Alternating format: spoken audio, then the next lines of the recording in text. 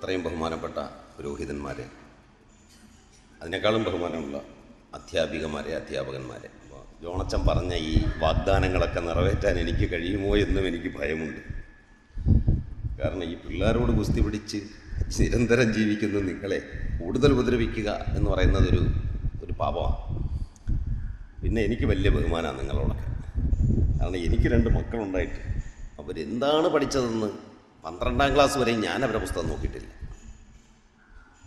ഇതങ്ങനെയല്ല ഇങ്ങനെയാണ് എന്ന് ഞാൻ പറഞ്ഞാൽ അതൊട്ട് ചിലവാകുകയില്ല നേരെ മിസ്സ് പറഞ്ഞിട്ടുണ്ട് അങ്ങനെയല്ല എന്ന് ഇന്ത്യയുടെ തലസ്ഥാനം ഡാക്കയാണെന്ന് മിസ്സ് പറഞ്ഞാൽ അതാണ് അവരുടെ തത്വം. അതുകൊണ്ട് ഈ വിദ്യാഭ്യാസ പദ്ധതിയിൽ ഒരിക്കലും ഇടപെടാൻ തീരുമാനിക്കാത്ത ഒരാളാണ് അതുകൊണ്ട് എനിക്ക് വലിയ ബഹുമാനമാണ് ടീച്ചർമാരോട്. പുരുഷന്മാരോടും അങ്ങനെ തന്നെയാണ്. കാരണം എനിക്ക് രണ്ട് പെൺകുട്ടികളായതുകൊണ്ട് അവരെ പെണ്ണുങ്ങളാണ് പഠിപ്പിച്ചത്. എന്നെ പഠിപ്പിച്ച അധ്യാപകരെ മഹാകഠോര അധ്യാപകരായിരുന്നു. നിങ്ങളാരും അങ്ങനെയല്ലാത്ത അധ്യാപകരാണ് എന്നുള്ള സന്തോഷമുണ്ട്. കുട്ടികളൊക്കെ നല്ല മാർക്ക് വാങ്ങിക്കുന്നത്. എന്റെ കുട്ടികൾ മാ- നല്ല മാർക്ക് വാങ്ങിച്ച് ജയിച്ചതിന് നൂറ് ശതമാനവും കുഡോസ് ആ പഠിപ്പിച്ച ടീച്ചർമാർക്കാണ് കാരണം ഞാനോ എന്റെ ഭാര്യയോ ഇവരെ ഒരർത്ഥത്തിൽ പോലും സഹായിക്കാൻ ശ്രമിക്കും ഞങ്ങളെ സഹായിച്ചെങ്കിൽ തീർച്ചയായിട്ടും അവരുടെ മാർക്ക് കുറയുമായിരുന്നു എന്നുള്ള കാര്യത്തിൽ എനിക്ക് തർക്കമില്ല. അപ്പോൾ അത് ഞാൻ പറഞ്ഞു വരുന്ന വേറെ ഒന്നുമല്ല വലിയ കുഴപ്പമൊന്നുമില്ലാതെ കടന്നു പോകുന്ന ഒന്നാണ് നമ്മുടെ വിദ്യാഭ്യാസ സമ്പ്രദായം. വലിയ കുഴപ്പമൊന്നുമില്ല. അതുകൊണ്ട് നിങ്ങൾക്ക് എന്തെങ്കിലും ചെയ്യണമുണ്ടെന്നൊന്നും നിങ്ങൾ വിചാരിക്കുകയേ പാടില്ല. ഇതിന്റെ രണ്ടാമത്തെ വശം. നിങ്ങൾ പഠിപ്പിച്ച കുട്ടികളെല്ലാവരും ഒരുപാട് കാര്യങ്ങളൊക്കെ അവർ പഠിക്കുന്നുണ്ട്. അവർക്ക് എത്രത്തോളം ഓതന്റിസിറ്റി ഉണ്ട്? എന്നുള്ളതാണ് രണ്ടാമത്തെ പ്രശ്നം. നിങ്ങൾ പഠിപ്പിക്കുന്ന എല്ലാ കുട്ടികളും വളരെ ഓതന്റിക്കായ ആളുകളായാണോ മാറുന്നത്. അവർ ഈ ലോകം മാറ്റിമറിക്കുന്നതിൽ എത്രത്തോളം പങ്കുവഹിക്കുന്നു? അവർ മാർക്ക് വാങ്ങിയ എടുക്കരാണ് എന്നുള്ളതല്ല. അവരിൽ എത്ര പേർ ലോകത്തെ മാറ്റിയിട്ടുണ്ട്? ലോകത്തെ മാറ്റി എത്ര കുട്ടികളെയാണ് നിങ്ങൾ പഠിപ്പിച്ചത്? നിങ്ങൾക്ക് എത്ര പേരെ പഠിപ്പിച്ചു എന്ന് അവകാശവാദം ഉന്നയിക്കാൻ പറ്റും? നിങ്ങൾ പഠിപ്പിച്ച കുറേ പേരൊക്കെ ലോകത്തെ മാറ്റിയോ? മാറ്റുന്നില്ലല്ലേ? ഞാൻ ഇങ്ങനെയൊക്കെ ചോദിക്കുകയും നിങ്ങൾ എന്തെങ്കിലുമൊക്കെ പറയും വേണം കേട്ടോ. ഇതൊരു ഇൻട്രാക്റ്റീവ് അല്ലെങ്കിലേ ചിലപ്പോൾ അത് എനിക്ക് കേൾക്കാൻ പറ്റിയില്ല എന്ന് വരും എങ്കിലും അങ്ങനെയല്ല. നിങ്ങൾ തീർച്ചയായിട്ടും എന്നോട് സംസാരിക്കണം. ഞാൻ സത്യത്തിൽ ഒരുപാട് അസംബന്ധങ്ങളും കുഴപ്പങ്ങളും പറയണമെന്ന് എനിക്ക് ആഗ്രഹമുണ്ട്. പക്ഷേ ഈ ക്യാമറയെ എനിക്ക് ഭയമായതുകൊണ്ടും ഇത് റെക്കോർഡായി മാറും എന്നുള്ളത് കൊണ്ടും ഓഫ് ദ റെക്കോർഡ് ഒന്നും പറയാൻ പറ്റില്ല. അപ്പോൾ ഞാൻ സത്യത്തിൽ സ്കൂൾ അധ്യാപകരോട് വിദ്യാഭ്യാസത്തെ കേന്ദ്രീകരിച്ചുകൊണ്ട് കുറച്ച് കാര്യങ്ങൾ പറയാവുന്ന ഒന്നും എന്റെ കൈവശമില്ല. കാരണം ഞാൻ വിദ്യാഭ്യാസം പഠിച്ചിട്ടേ ഇല്ല.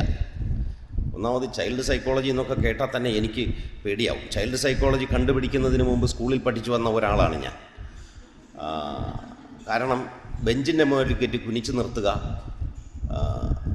ഇങ്ങനെ നിർത്തിയിട്ട് കുറച്ച് ലേറ്റ് ബുക്കൊക്കെ എടുത്ത് ഇങ്ങനെ വെച്ചേരും അരമണിക്കൂർ അവിടെ നിൽക്കാൻ പറയും. നിൽക്കുക ചോക്ക് കണ്ട് മൂക്കിനും മണ്ടയ്ക്ക് ഏറ് കിട്ടുക തുടങ്ങിയ അന്ന് നിലവിലുണ്ടായിരുന്ന എല്ലാത്തരം ബാലപീഡന സമ്പ്രദായങ്ങളും ഏറ്റാണ് ഞാൻ എന്റെ സ്കൂൾ വിദ്യാഭ്യാസം പൂർത്തിയാക്കിയത്. എല്ലാ കേസുകളിലും ഞാൻ ഒരു പ്രതിസ്ഥാനത്ത് ഉണ്ടായിരുന്നു. അപ്പോൾ അങ്ങനെ മിക്കവാറും എല്ലാ കേസുകളിലും പ്രതിയായി ഈ സ്കൂൾ വിദ്യാഭ്യാസം രക്ഷ കഷ്ടിച്ച് രക്ഷപ്പെടുകയും മാത്രമല്ല അതിഘോരങ്ങളായ പാഠപുസ്തകങ്ങൾ അതിജീവിക്കുകയും ചെയ്ത ഒരാളാണ് ഞാൻ. പക്ഷേ പിന്നീടുള്ള എന്റെ ജീവിതത്തിന് ഈ ശക്തി പകർന്ന ഈ സ്കൂൾ വിദ്യാഭ്യാസം. കാരണം ഞാൻ ലോകത്തെ ഏത് കാര്യത്തെ ഫിലോസഫൈസ് ചെയ്യുക താത്വികമായി കാണുക എന്നുള്ളതാണ് ഏറ്റവും പ്രധാനം. നിങ്ങൾക്ക് തത്വചിന്താപരമായ ഒരു അടിത്തറയില്ലെങ്കിൽ നിങ്ങൾ പഠിപ്പിക്കുന്നതിനോ വിചാരിക്കുന്നതിനോ ഒരർത്ഥവുമില്ലാതാകും താത്വികമായി ഏത് സാധനവും ഏത് വസ്തുതയെയും സാധൂകരിക്കാൻ കഴിയണം. ഏത് കാര്യത്തിനും താത്വികമായ ഒരു സാധൂകരണം ഉണ്ടായേ പറ്റൂ. ഇത് ഞാൻ ആദ്യമായി മനസ്സിലാക്കിയത് താത്വികമായി ജീവിതത്തെ കാണാം എന്ന് മനസ്സിലാക്കിയത് ഞാൻ ഒന്നാം ക്ലാസ്സിൽ ചേർന്ന ദിവസമാണ്. അന്ന് തത്വചിന്ത എന്ന പേരിൽ ഒരു സംഗതി ഉണ്ടെന്ന് എനിക്ക് അറിഞ്ഞുകൂടായിരുന്നു. എന്നാൽ കാര്യങ്ങളെ താത്വികമായി കാണാൻ പറ്റും എന്ന് എന്നെ പഠിപ്പിച്ചത് എന്റെ ക്ലാസ്സിൽ പഠിച്ചിരുന്ന സുരേന്ദ്രൻ എന്ന വിദ്യാർത്ഥിയാണ്. ഞാൻ കഴിഞ്ഞ ഒരു ദിവസം ഒരു പൂർവ വിദ്യാർത്ഥി സംഗമത്തിൽ പോയപ്പം ഈ കാര്യം അവിടെയുള്ള അധ്യാപകരോടെല്ലാം പറഞ്ഞു. അവർ അധ്യാപകരും വിദ്യാർത്ഥികളും ഉണ്ടായിരുന്നു. ഞാൻ ഒന്നാം ക്ലാസ്സിൽ ചേർന്ന ദിവസം എന്നെ ആദ്യമായി പഠിപ്പിക്കാൻ വന്ന സാറ് ചുമര്. ഞാൻ L K G U K G ഒന്നും പഠിച്ചിട്ടില്ലായിരുന്നു അന്നതൊന്നും ഇല്ലായിരുന്നു. ഉണ്ടായിരുന്നു എന്ന് തോന്നുന്നു. വലിയ നഗരങ്ങളിലൊക്കെ ഉണ്ടായിരുന്നു. ഞാൻ നിർഭാഗ്യവശാൽ നഗരത്തിൽ ജനിക്കാൻ ഭാഗ്യം കിട്ടാത്തത് കൊണ്ട് ഗ്രാമത്തിൽ പറന്നുപോയത് കൊണ്ട് എൽ കെ ജിയിൽ പോയില്ല. ഒരു റാ എന്ന് പറഞ്ഞൊരു അക്ഷരം എഴുതി അവിടെ. ഇങ്ങനെ. അപ്പോൾ അതുകൊണ്ട് ഈ മുമ്പ് അക്ഷരമൊന്നും കണ്ടിട്ടേ ഇല്ലായിരുന്നു ഞാൻ. അപ്പോൾ പുസ്തകവും കണ്ടിട്ടില്ല. അപ്പോൾ എന്നിട്ട് ഈ സാറ് ചോദിച്ചു ഇതെന്താണെന്ന്? ചോദിച്ചു. ഉടനെ തന്നെ ഓരോ വിദഗ്ധന്മാരും ഓരോ അഭിപ്രായങ്ങൾ പറഞ്ഞു. ഒരാൾ പറഞ്ഞു ഇത് വളപ്പൊട്ടല്ലാതെ മറ്റൊന്നുമല്ല.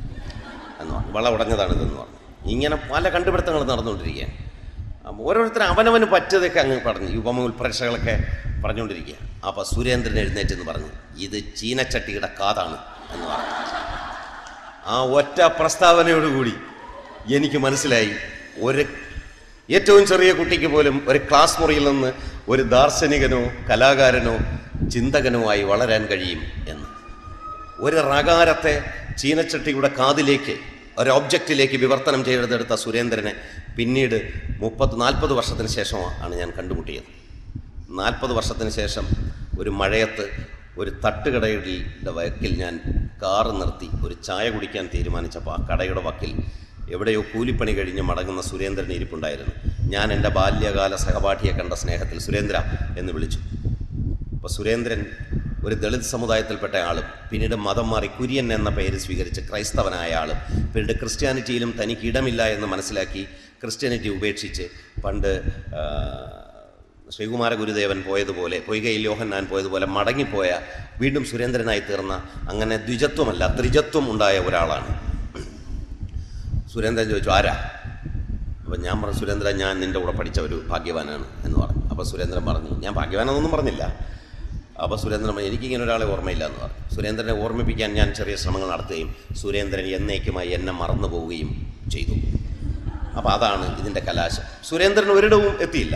ഞാൻ വിചാരിച്ചത് സുരേന്ദ്രൻ ഭാവിയിൽ ഒരു തത്വചിന്തകനായി മാറുന്നതാണ്. കാരണം അത്രയും താത്വികമായിരുന്നു സുരേന്ദ്രന്റെ അഭിപ്രായം. മാത്രമല്ല അതിമോഹനങ്ങളായ പാഠപുസ്തകങ്ങളാണ് ഞാൻ പഠിച്ചത്. നിങ്ങളിൽ പലരും അത് പഠിച്ചിട്ടുണ്ട്. അല്ല ചെറുപ്പക്കാരെ ഉദ്ദേശിച്ചല്ല ഞാൻ പറഞ്ഞു ഇച്ചിരി കൂടി സീനിയറായ ആളുകൾ. അങ്ങനെ പഠിച്ച പാഠപുസ്തകങ്ങളിൽ ഒരു ക്ലാസ്സിക്കായിരുന്നു മൂന്നാം ക്ലാസ്സിലെ മൂന്നാം പാഠം. അതിനകത്താണ് കേരളത്തിലെ പോപ്പുലർ കൾച്ചറിലെ മുഴുവൻ ഇടം നേടിയ സുരേഷ് എന്ന കഥാപാത്രം പ്രത്യക്ഷപ്പെട്ടത്.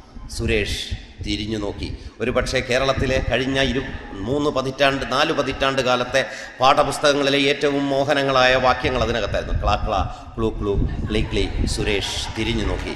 മുറ്റത്തൊരു മൈന. എന്തൊരു മണമായിരുന്നു ആ പാഠപുസ്തകത്തിന്. എന്റെ സ്കൂൾ ജീവിതം മുഴുവൻ ഞാനിത് മണത്ത് മണത്ത് മണത്ത് മണത്ത് ഈ അച്ചടി മഷിയുടെ മണം ഇങ്ങനെ ആസ്വദിക്കുമായിരുന്നു. നിങ്ങളും മണത്തിട്ടുണ്ടെന്ന് എനിക്കറിയാം. നമ്മളുടെ ഏറ്റവും സ്വകാര്യമായ ഗന്ധജീവിതം പുസ്തകങ്ങൾ മണത്തുകൊണ്ടാണ് അച്ചടി മടിയുടെ മഷിയുടെ മണത്തിലൂടെ. എനിക്കതിൽ നിന്ന് മോചനമുണ്ടായതേയില്ല ഇപ്പോഴും എല്ലാ ദിവസവും അച്ചടിയുടെ അച്ചടി മഷിയുടെ മണത്തിൽ ജീവിക്കുന്ന ഒരാളാണ് ഞാൻ. ന്യൂസ് പേപ്പർ അടിച്ച് രാത്രി ഒരു പതിനൊന്നര പന്ത്രണ്ടേ മുക്കാലാവുമ്പോൾ പത്രം അടിച്ച് ഇങ്ങനെ കൊണ്ടുവന്ന് അതെടുത്ത് നിവർത്തി നോക്കിയിട്ട് ഞാൻ എന്റെ ഓഫീസിൽ നിന്ന് ഇറങ്ങാറുള്ളൂ. അപ്പോൾ എന്റെ രണ്ട് വിരലുകളിലും ചൂടോടെ അടിച്ച് കിട്ടിയ മഷി ഇങ്ങനെ പറ്റാറുണ്ട്. അങ്ങനെ മഷിയിൽ നിന്ന് എനിക്ക് മോചനം ഇല്ല. ഞാൻ എഴുതുന്നത് കൊണ്ടും എനിക്ക് മഷിയിൽ നിന്നും മഷിത്തണ്ടുകളിൽ നിന്നും മോചനം ഇല്ല. അതുപോട്ടെ അപ്പോൾ മൂന്നാം പാഠം ഒരു സുരേഷ് ആയിരുന്നില്ല. അതിനകത്ത് മറ്റൊരു പാഠമുണ്ടായിരുന്നു. കൃഷ്ണപുരം ബ്ലോക്കിൽ ഈ കൊല്ലവും വേലപ്പന് തന്നെ ഒന്നാം സ്ഥാനം. ആ വാക്യം നിങ്ങൾ എത്ര പേർ ഓർമ്മിക്കുന്നുണ്ട്? സ ഇല്ല അല്ലേ? ഓർമ്മയുണ്ട് സിസ്റ്റർക്ക് ഓർമ്മയുണ്ട്. പിന്നെ നേരം പാതിരായോടടുത്തു. മദീന നഗരത്തിലെ എല്ലാവരും ഉറങ്ങി. എന്നാൽ ഒരു വീട്ടിൽ മാത്രം വിളക്കെരിയുന്നുണ്ട്. എത്ര നാടകീയമായൊരു തുടക്കം. ഒരു വീട്ടിൽ അമ്മ കുഞ്ഞുങ്ങൾക്ക് ഭക്ഷണം കൊടുക്കാനില്ലാതെ വെറും വെള്ളം തിളപ്പിച്ചുകൊണ്ടിരിക്കുകയാണ്. ആ സമയത്ത് ഖലീഫ ഉമർ പ്രത്യക്ഷപ്പെട്ടു. ഒരമ്മയും ദരിദ്രരായ രണ്ട് മക്കളെ കൊണ്ട് ദരിദ്രയായ ഒരമ്മ ജീവിതത്തിലെ ദുഃഖം തിളപ്പിച്ചുകൊണ്ടിരിക്കുന്ന ആ പാഠം എത്ര മനോഹരമായിട്ട് എഴുതിയത്. പാവം നാപ്പ്. അധ്യാപകൻ ഇട്ടുകൊടുത്ത കണക്ക് ചെയ്തു തീർത്ത് ഉറങ്ങിപ്പോയി. സ്കൂൾ പൂട്ടി ആളുകൾ പോയി. അമ്മ ലറ്റീഷ പരിഭ്രമിച്ചു. ആ നാപ്പ് പിന്നീട് നെപ്പോളിയൻ എന്ന പേരിൽ ലോകത്തെ പേടിപ്പിച്ചുകൊണ്ട് ജീവിച്ചു. അസാധ്യമായി ഒന്നുമില്ല എന്നായിരുന്നു ആ പാഠത്തിന്റെ പേര്. ഈ പാഠങ്ങൾ തന്ന ഒരു ശക്തിയുണ്ട്. ഈ പാഠങ്ങൾ നമ്മുടെ ഭാവിയിലേക്ക് തയ്യാറെടുപ്പിക്കുകയായിരുന്നു. ഭാവിയിലേക്ക് വിവർത്തനം ചെയ്തെടുത്ത പാഠങ്ങൾ. അത് എഴുതിയവർ എത്ര സുഹൃതികളായിരുന്നു. എന്നാൽ അടുത്ത വർഷം ഞാൻ പഠിച്ച നാലാം പാഠം വന്നു. ആ നാലാം പാഠത്തെ പോലെ ഘോരവും കഠോരവും നിർദ്ദയവുമായൊരു പുസ്തകം ഞാൻ കണ്ടിട്ടേയില്ല. ആ പുസ്തകം മുഴുവൻ മരണമായിരുന്നു. മരണം എന്താണെന്ന് അറിഞ്ഞുകൂടാത്ത വേദന എന്താണെന്ന് അറിഞ്ഞുകൂടാത്ത കളി മാത്രമുണ്ടായിരുന്ന കുട്ടികളെ ജീവിതത്തിലെ ഓരോരോ ഗുണങ്ങൾ. അത്യാഗ്രഹം അസൂയ മരണം വേദന രോഗം പീഡ ഇതിനെക്കുറിച്ച് പഠിപ്പിച്ച് സദാചാരം പഠിപ്പിക്കാൻ തീരുമാനിച്ച ഏതോ വിദ്യാഭ്യാസ വിചക്ഷണർ. എന്തൊരു ഭയാനക പദം. ഇത്രയും മോശമായിട്ടൊരു വാക്ക് ഞാൻ കേട്ടിട്ടില്ല. വിദ്യാഭ്യാസ വിചക്ഷണം. പലറഞ്ഞ പല്ലിളകി പോകും ഇംഗ്ലീഷിൽ എഡ്യൂക്കേറ്റർ എത്ര നല്ല വാക്കാണ് എന്തിനു ഈ വിദ്യാഭ്യാസ വിചക്ഷണർ ഇതി കർത്തവ്യത മൂടർ എന്നൊക്കെ പറഞ്ഞാൽ തന്നെ? ഞാൻ സ്കൂളിൽ പഠിച്ചപ്പോൾ ഏറ്റവും കൂടുതൽ ഞാൻ പരിഭ്രമിച്ച ഈ ഒറ്റ വാക്കിന്റെ മുമ്പിൽ എനിക്കിത് എഴുതിയാൽ ശരിയാവില്ലായിരുന്നു. ഇതി കർത്തവ്യത മൂടൻ നിങ്ങൾ ശരിയാവുമെന്ന് എനിക്ക് അറിഞ്ഞുകൂടാ. ആ ആ നാലാം പാഠം പഠിച്ചവർക്കറിയാം. കാട്ടുതീയിൽപ്പെട്ട കുടുംബം എന്നൊരു പാഠം ഉണ്ടായിരുന്നു അതിനകത്ത്. എഴുത്തച്ഛന്റെ കവിത ജരിത എന്ന പക്ഷി കാട്ടുതീ പറയുന്നു ഈ കുട്ടികൾ മരിച്ചു പോകും. അതിന്റെ ആ നാടകീയതയിൽ പദ്യം അവിടെ നിർത്തി. ഞാൻ ദുസ്വപ്നം കാണാൻ തുടങ്ങി എന്റെ നാലാം ക്ലാസ് ജീവിതത്തിൽ മുഴുവൻ. ഇത് ചത്തുവെന്ന് പേടിച്ചിട്ട് ഈ കിളിക്കുഞ്ഞുങ്ങളെ നമ്മൾ സ്നേഹിച്ചുകൊണ്ടിരിക്കുന്ന പ്രായമാണത് ചെറിയ മീനുകളെയൊക്കെ സ്നേഹിക്കുന്ന പ്രായത്തിൽ ഈ പക്ഷിക്കുഞ്ഞുങ്ങൾ മരിക്കുമോ എന്നോർത്ത് എന്റെ ബാല്യകാല ദിനങ്ങൾ എന്റെ ബാല്യ മനസ്സ് വല്ലാതെ വിഷമിച്ചു. അപ്പോൾ അടുത്ത പാഠം വരും കാലനില്ലാത്ത കാലം. അത് അതിനേക്കാൾ കഠോരം. അത് കഴിഞ്ഞിട്ടോ? അസൂയക്കാരനും അത്യാഗ്രഹി എന്ന് പറഞ്ഞ് ഭീകരമായ ഒരു പാഠം. അത് ഓർമ്മയുണ്ടോ? അത്യാഗ്രഹി അസൂയക്കാരനും അയൽക്കാരാണ്. രണ്ടുപേരും കൂടെ ദൈവത്തെ പ്രത്യക്ഷപ്പെടുത്താൻ തപസ് ചെയ്തു. അപ്പോൾ ദൈവം പ്രത്യക്ഷപ്പെട്ടു. ദൈവം ഒരു വലിയ വട്ടമായിട്ടാണ് വരുന്നത് സൂര്യനെ പോലെ വരച്ച് പ്രകാശമാണ് ദൈവം എന്നുള്ള സന്ദേശം കിട്ടി. അപ്പോൾ അത്യാഗ്രഹി ദൈവം ആദ്യം പറഞ്ഞു ഒരു ആദ്യം ഒരാൾ വരാൻ ചോദിക്കണം. അയാൾക്ക് കിട്ടുന്നതിന്റെ ഇരട്ടി മറ്റേയാൾക്ക് കിട്ടുമെന്ന് പറഞ്ഞു. ഉടനെ അസൂയക്കാരൻ ചാടി ഒറ്റ ചോദ്യം ചോദിച്ചു. എന്റെ ഒരു കണ്ണ് പൊട്ടെ എന്ന് പറഞ്ഞു. പിന്നെ എന്ത് സംഭവിച്ചു എന്ന് ഞാൻ നിങ്ങളോട് പറഞ്ഞു തരേണ്ടതില്ല. കൊച്ചു കുഞ്ഞുങ്ങൾക്ക് മേൽ ഈ കഥ അടിച്ചേൽപ്പിച്ച വിദ്യാഭ്യാസ പാഠമെഴുത്തുകാർ എന്തൊരു പാപമാണ് ചെയ്തത്. രണ്ട് കണ്ണും പോവുക. അന്ധത വേദന. അത്യാഗ്രഹിയോ അസൂയക്കാരനോ കൊലപാതകിയോ പാപിയോ പീഡകനോ ആയിക്കൊള്ളട്ടെ. നിങ്ങളിൽ പാപം ചെയ്യാത്തവർ കല്ലെറിഞ്ഞാൽ മതി എന്നല്ലേ പറയേണ്ടിയിരുന്നത്. പക്ഷേ രണ്ട് കണ്ണും അന്ധനായി പോകുന്ന ഒരു മനുഷ്യന്റെ ജീവിതം പഠിപ്പിച്ചുകൊണ്ടാണോ അത്യാഗ്രഹം മോശപ്പെട്ട ശീലമാണെന്ന് പഠിപ്പിക്കാൻ? അത്യാഗ്രഹം മോശപ്പെട്ട ഒരു ഗുണമാണ് ഒരു മനുഷ്യവാസനയാണ് അസൂയ അതിനേക്കാൾ മോശമാണ് എന്ന് പഠിപ്പിക്കുന്നതിന് വേണ്ടിയാണ് ഈ പാഠങ്ങൾ. കാട്ടുതീയിൽപ്പെട്ട് കിടന്നാൽ ദൈവത്തെ വിളിച്ച് കരഞ്ഞാൽ രക്ഷിക്കും ദൈവമെന്ന് കാണിക്കാൻ വേണ്ടി ഈ പാഠം വെച്ചത്. അത് കഴിഞ്ഞ് നോക്കിയപ്പോൾ മലമ്പനി വേറൊരു പാഠം. അത് കഴിഞ്ഞ് ലൂയി പാസ്റ്റർ. നല്ല ആളായിരുന്നു ലൂയി പാസ്റ്റർ. പക്ഷേ പേപ്പട്ടി കടിക്കും ചത്തുവും ഇപ്പം തന്നെ റോഡിൽ മുഴുവൻ പട്ടിയാ. കുട്ടിക്കാലത്തെ നമ്മുടെ ഏറ്റവും വലിയ ഭയം എന്തായിരുന്നു? പട്ടി കടിക്കുന്നുള്ളതാണ് സ്കൂളിൽ പോകുമ്പോൾ ഒരു അമ്പത് പട്ടി കാണും. പിന്നെ നമ്മുടെ മലയാളിയുടെ ജന്മവാസന കൊണ്ട് കുട്ടിക്കാലത്തെ പട്ടിയെ കല്ലെടുത്ത് കല്ലെടുത്തെറിയാൻ അച്ഛനും അമ്മയും കൂടെ പഠിപ്പിച്ചു വിടുന്നത്. കിളികളെ കണ്ട അപ്പം അറിയാം. നിങ്ങൾ ഉത്തരേന്ത്യയിലേക്ക് പോകണം. ഉത്തരേന്ത്യയിലെ ഒരു മനുഷ്യനോ കുട്ടികൾ പോലും അവർക്ക് വിവരമില്ലെന്നാണല്ലോ പണ്ഡിത മലയാളികൾ അഭിപ്രായപ്പെടുന്നത്. മൂവായിരം വർഷത്തെ ഭാഷയും സംസ്കാരവും ഉള്ള തമിഴനെ നോക്കിയിട്ട് പാണ്ടി പാണ്ടി എന്ന് വിളിച്ച് കളിയാക്കുക. അല്ലേ? തഞ്ചാവൂരിലെ ബൃഹദീശ്വര ക്ഷേത്രത്തിലോ ചിദംബരത്തെ ക്ഷേത്രത്തിലോ മധുര മീനാക്ഷി ക്ഷേത്രത്തിലോ ഒരു നിമിഷം ചെന്നൊന്ന് നിന്നാൽ മതി. നിങ്ങൾ ധ്യാനനിരതരായി പോവും. കാരണം ആ ശില്പങ്ങളുടെ ഗാംഭീര്യം. അതുപോലൊന്നും മലയാളി ഈ കഴിഞ്ഞ മൂവായിരം വർഷം കൊണ്ട് ഉണ്ടാക്കിയിട്ടില്ല. എല്ലാം കൂടി തളി ക്ഷേത്രത്തിന്റെ നിലവാരത്തിലാണ് ഉണ്ടാക്കിയിരിക്കുന്നത്. ആകെ വലിപ്പമുള്ള ഒരെണ്ണം ശ്രീപത്മനാഭസ്വാമി ക്ഷേത്രം. അത് തമിഴൻ ഉണ്ടാക്കിയതു. ആ മോഡലാണ് എന്നിട്ട് അവനെ പാണ്ടി എന്നാണ് വിളിക്കുന്നത് അങ്ങനെ ഉത്തരേന്ത്യയിലെ മനുഷ്യർ രാവിലെ എഴുന്നേറ്റ ചെയ്യുന്ന ആദ്യത്തെ കാര്യം സാധാരണക്കാർ പോലും ഒരു ചെറിയ മൊന്തയിൽ വെള്ളമെടുത്ത് തൊട്ടടുത്ത മരത്തിലോട്ട് ഒഴിച്ച് ഇങ്ങനെ പ്രാർത്ഥിക്കും. ഒരു പക്ഷിയെയും കല്ലെടുത്തെറിയുകയില്ല. ഉത്തരേന്ത്യയിലെ മുഴുവൻ ഫ്ലാറ്റുകളിലും പക്ഷികൾക്കുള്ള പാത്ര പൊരിയും വെള്ളവും കൂടി വച്ചിരിക്കും. ഏത് ദരിദ്രൻ പോലും അത് ചെയ്യും. നായ്ക്കളെ പോലും കല്ലെടുത്തെറിയുകയില്ല.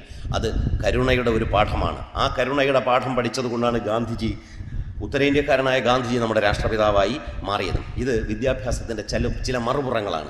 നിങ്ങൾ ക്ലാസ്സുകളിൽ പഠിപ്പിക്കുമ്പോൾ പാഠപുസ്തകത്തിന് പുറത്ത് പഠിപ്പിക്കേണ്ടത് ഈ കരുണയുടെ പാഠങ്ങളാണ്. നിങ്ങൾ ഒരു ക്രൈസ്തവ പാരമ്പര്യമുള്ള വിദ്യാലയത്തിലാണ് പഠിപ്പിക്കുന്നത്. കരുണ ആയിരുന്നു ക്രിസ്തുവിന്റെ പ്രധാനപ്പെട്ട മാർഗവും. എല്ലാ പ്രധാനപ്പെട്ട റിലീജിയസ് ലീഡേഴ്സും കരുണയെക്കുറിച്ചായിരുന്നല്ലോ സംസാരിച്ചുകൊണ്ടിരുന്നത്. ഞാൻ പറഞ്ഞു വന്നത് എന്റെ നാലാം പാഠത്തെക്കുറിച്ചാണ്. ഈ നാലാം പാഠത്തെ അതിജീവിച്ചതിലൂടെ ആണ് ഞാൻ കരുത്തനായത്. ഇത് അതിജീവിക്കുക ഭയങ്കരമാണ്. പേടിച്ച് മരിച്ചു പോകുന്ന ഈ പാഠപുസ്തകം. അങ്ങനെ പത്താം ക്ലാസ്സിലെത്തി.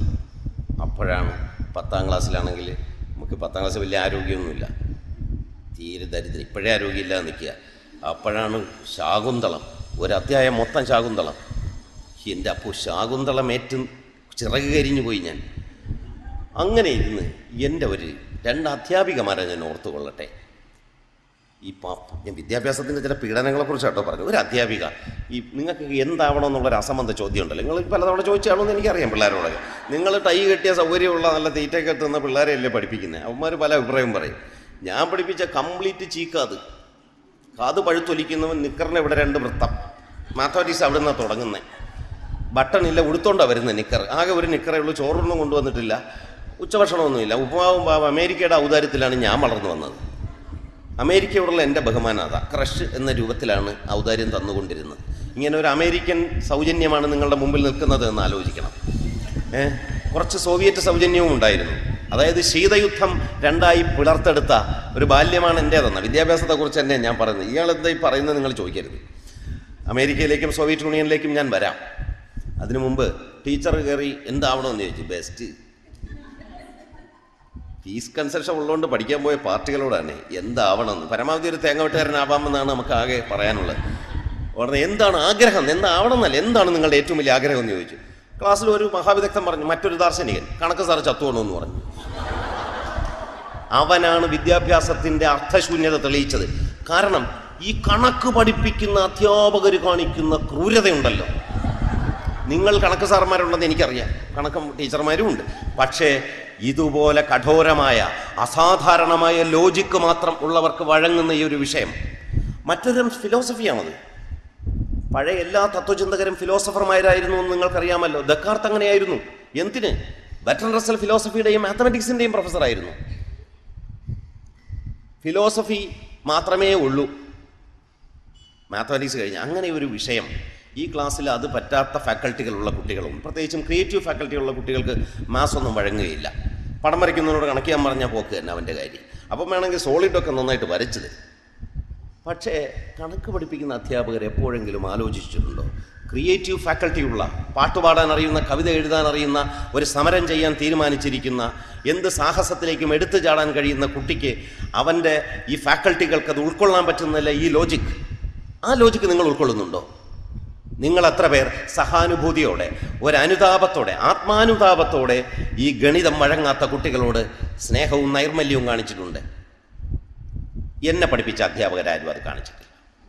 ടേക്കൺ ഫോർ ഗ്രാൻഡഡ് ആണ് അവരെന്നുള്ള മറ്റേ അങ്ങനെ മനസ്സിലാവുന്ന നാലു പേർക്ക് വേണ്ടി പഠിപ്പിക്കുന്ന രീതിയിലാണ് അവർ പഠിപ്പിച്ചുകൊണ്ടിരുന്നത്. ഗണിതത്തെ അങ്ങനെയാണ് അവർ കൈകാര്യം. ഗണിതം വെറുക്കപ്പെടേണ്ട ഒരു വിഷയമാണെന്ന് ബഹുഭൂരിപക്ഷം വിദ്യാർത്ഥികളെയും ബോധ്യപ്പെടുത്തിയതിലെ ഏറ്റവും പ്രധാനപ്പെട്ട ഉത്തരവാദിത്തം അധ്യാപകർക്കല്ലാതെ മറ്റാർക്കുമല്ല. അതിൽ നിന്ന് നിങ്ങൾക്ക് ഒളിച്ചോടാൻ കഴിയും എന്ന് നിങ്ങൾ വിചാരിക്കരുത്. കാരണം തത്വചിന്താപരമായ ഒരു വിഷയത്തെ ഘോരമായ ഇരുമ്പ് കഷണം പോലുള്ള ഒന്നാക്കി മാറ്റുന്നതിൽ അധ്യാപകർ വലിയ പങ്ക് വഹിച്ചിട്ടുണ്ട്. അധ്യാപകർക്ക് അറിയുമായിരിക്കും വിഷയങ്ങൾ. കുട്ടികൾക്ക് അറിയണമെന്നില്ല. എനിക്ക് കണക്ക് അധ്യാപകരോട് പറയാനുള്ളത് എന്റെ പഴയ സഹപാഠി പറഞ്ഞത് ഇനിയുള്ള കുട്ടികൾ ആവർത്തിക്കാതിരിക്കണമെങ്കിൽ നിങ്ങൾ കണക്കിലേക്ക് സ്നേഹവും സാഹിത്യവും കലയും കലർത്തേണ്ടതുണ്ട്.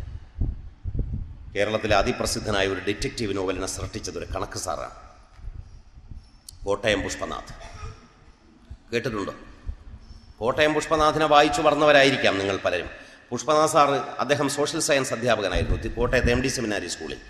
ഞാൻ പുഷ്പനാഥ് സാറിനെ കാണാൻ പോയി. കാരണം കുട്ടിക്കാലത്ത് എന്റെ ഏറ്റവും വലിയ ആരാധ്യ പുരുഷൻ കോട്ടയം പുഷ്പനാഥായിരുന്നു. ഒരു ഡിറ്റക്റ്റീവായി തീരണമെന്ന് ഞാൻ തീരുമാനിച്ചിരുന്നു. ഈ പുസ്തകമൊക്കെ വായിച്ച് ആവേശം കയറിയിട്ട്. ഹാഫെ കൊറോണ വലിക്കുന്ന മാർക്സിൻ എന്നൊക്കെ വായിച്ച് ഞാൻ കാർപ്പാത്യൻ മലനിരകൾ. അതുകൊണ്ട് ഞാൻ ഇങ്ങനെ തെറ്റി പുസ്തകത്തിനകത്ത് കണക്ക് പുസ്തകത്തിലൊക്കെ ഇത് വെച്ചുകൊണ്ടിരിക്കുകയാണ് ഞാൻ ഡിറ്റക്റ്റീവ് നോവൽ ഭയങ്കര പഠിത്തമെന്ന് എന്റെ അമ്മയച്ഛനും വിചാരിച്ചത്.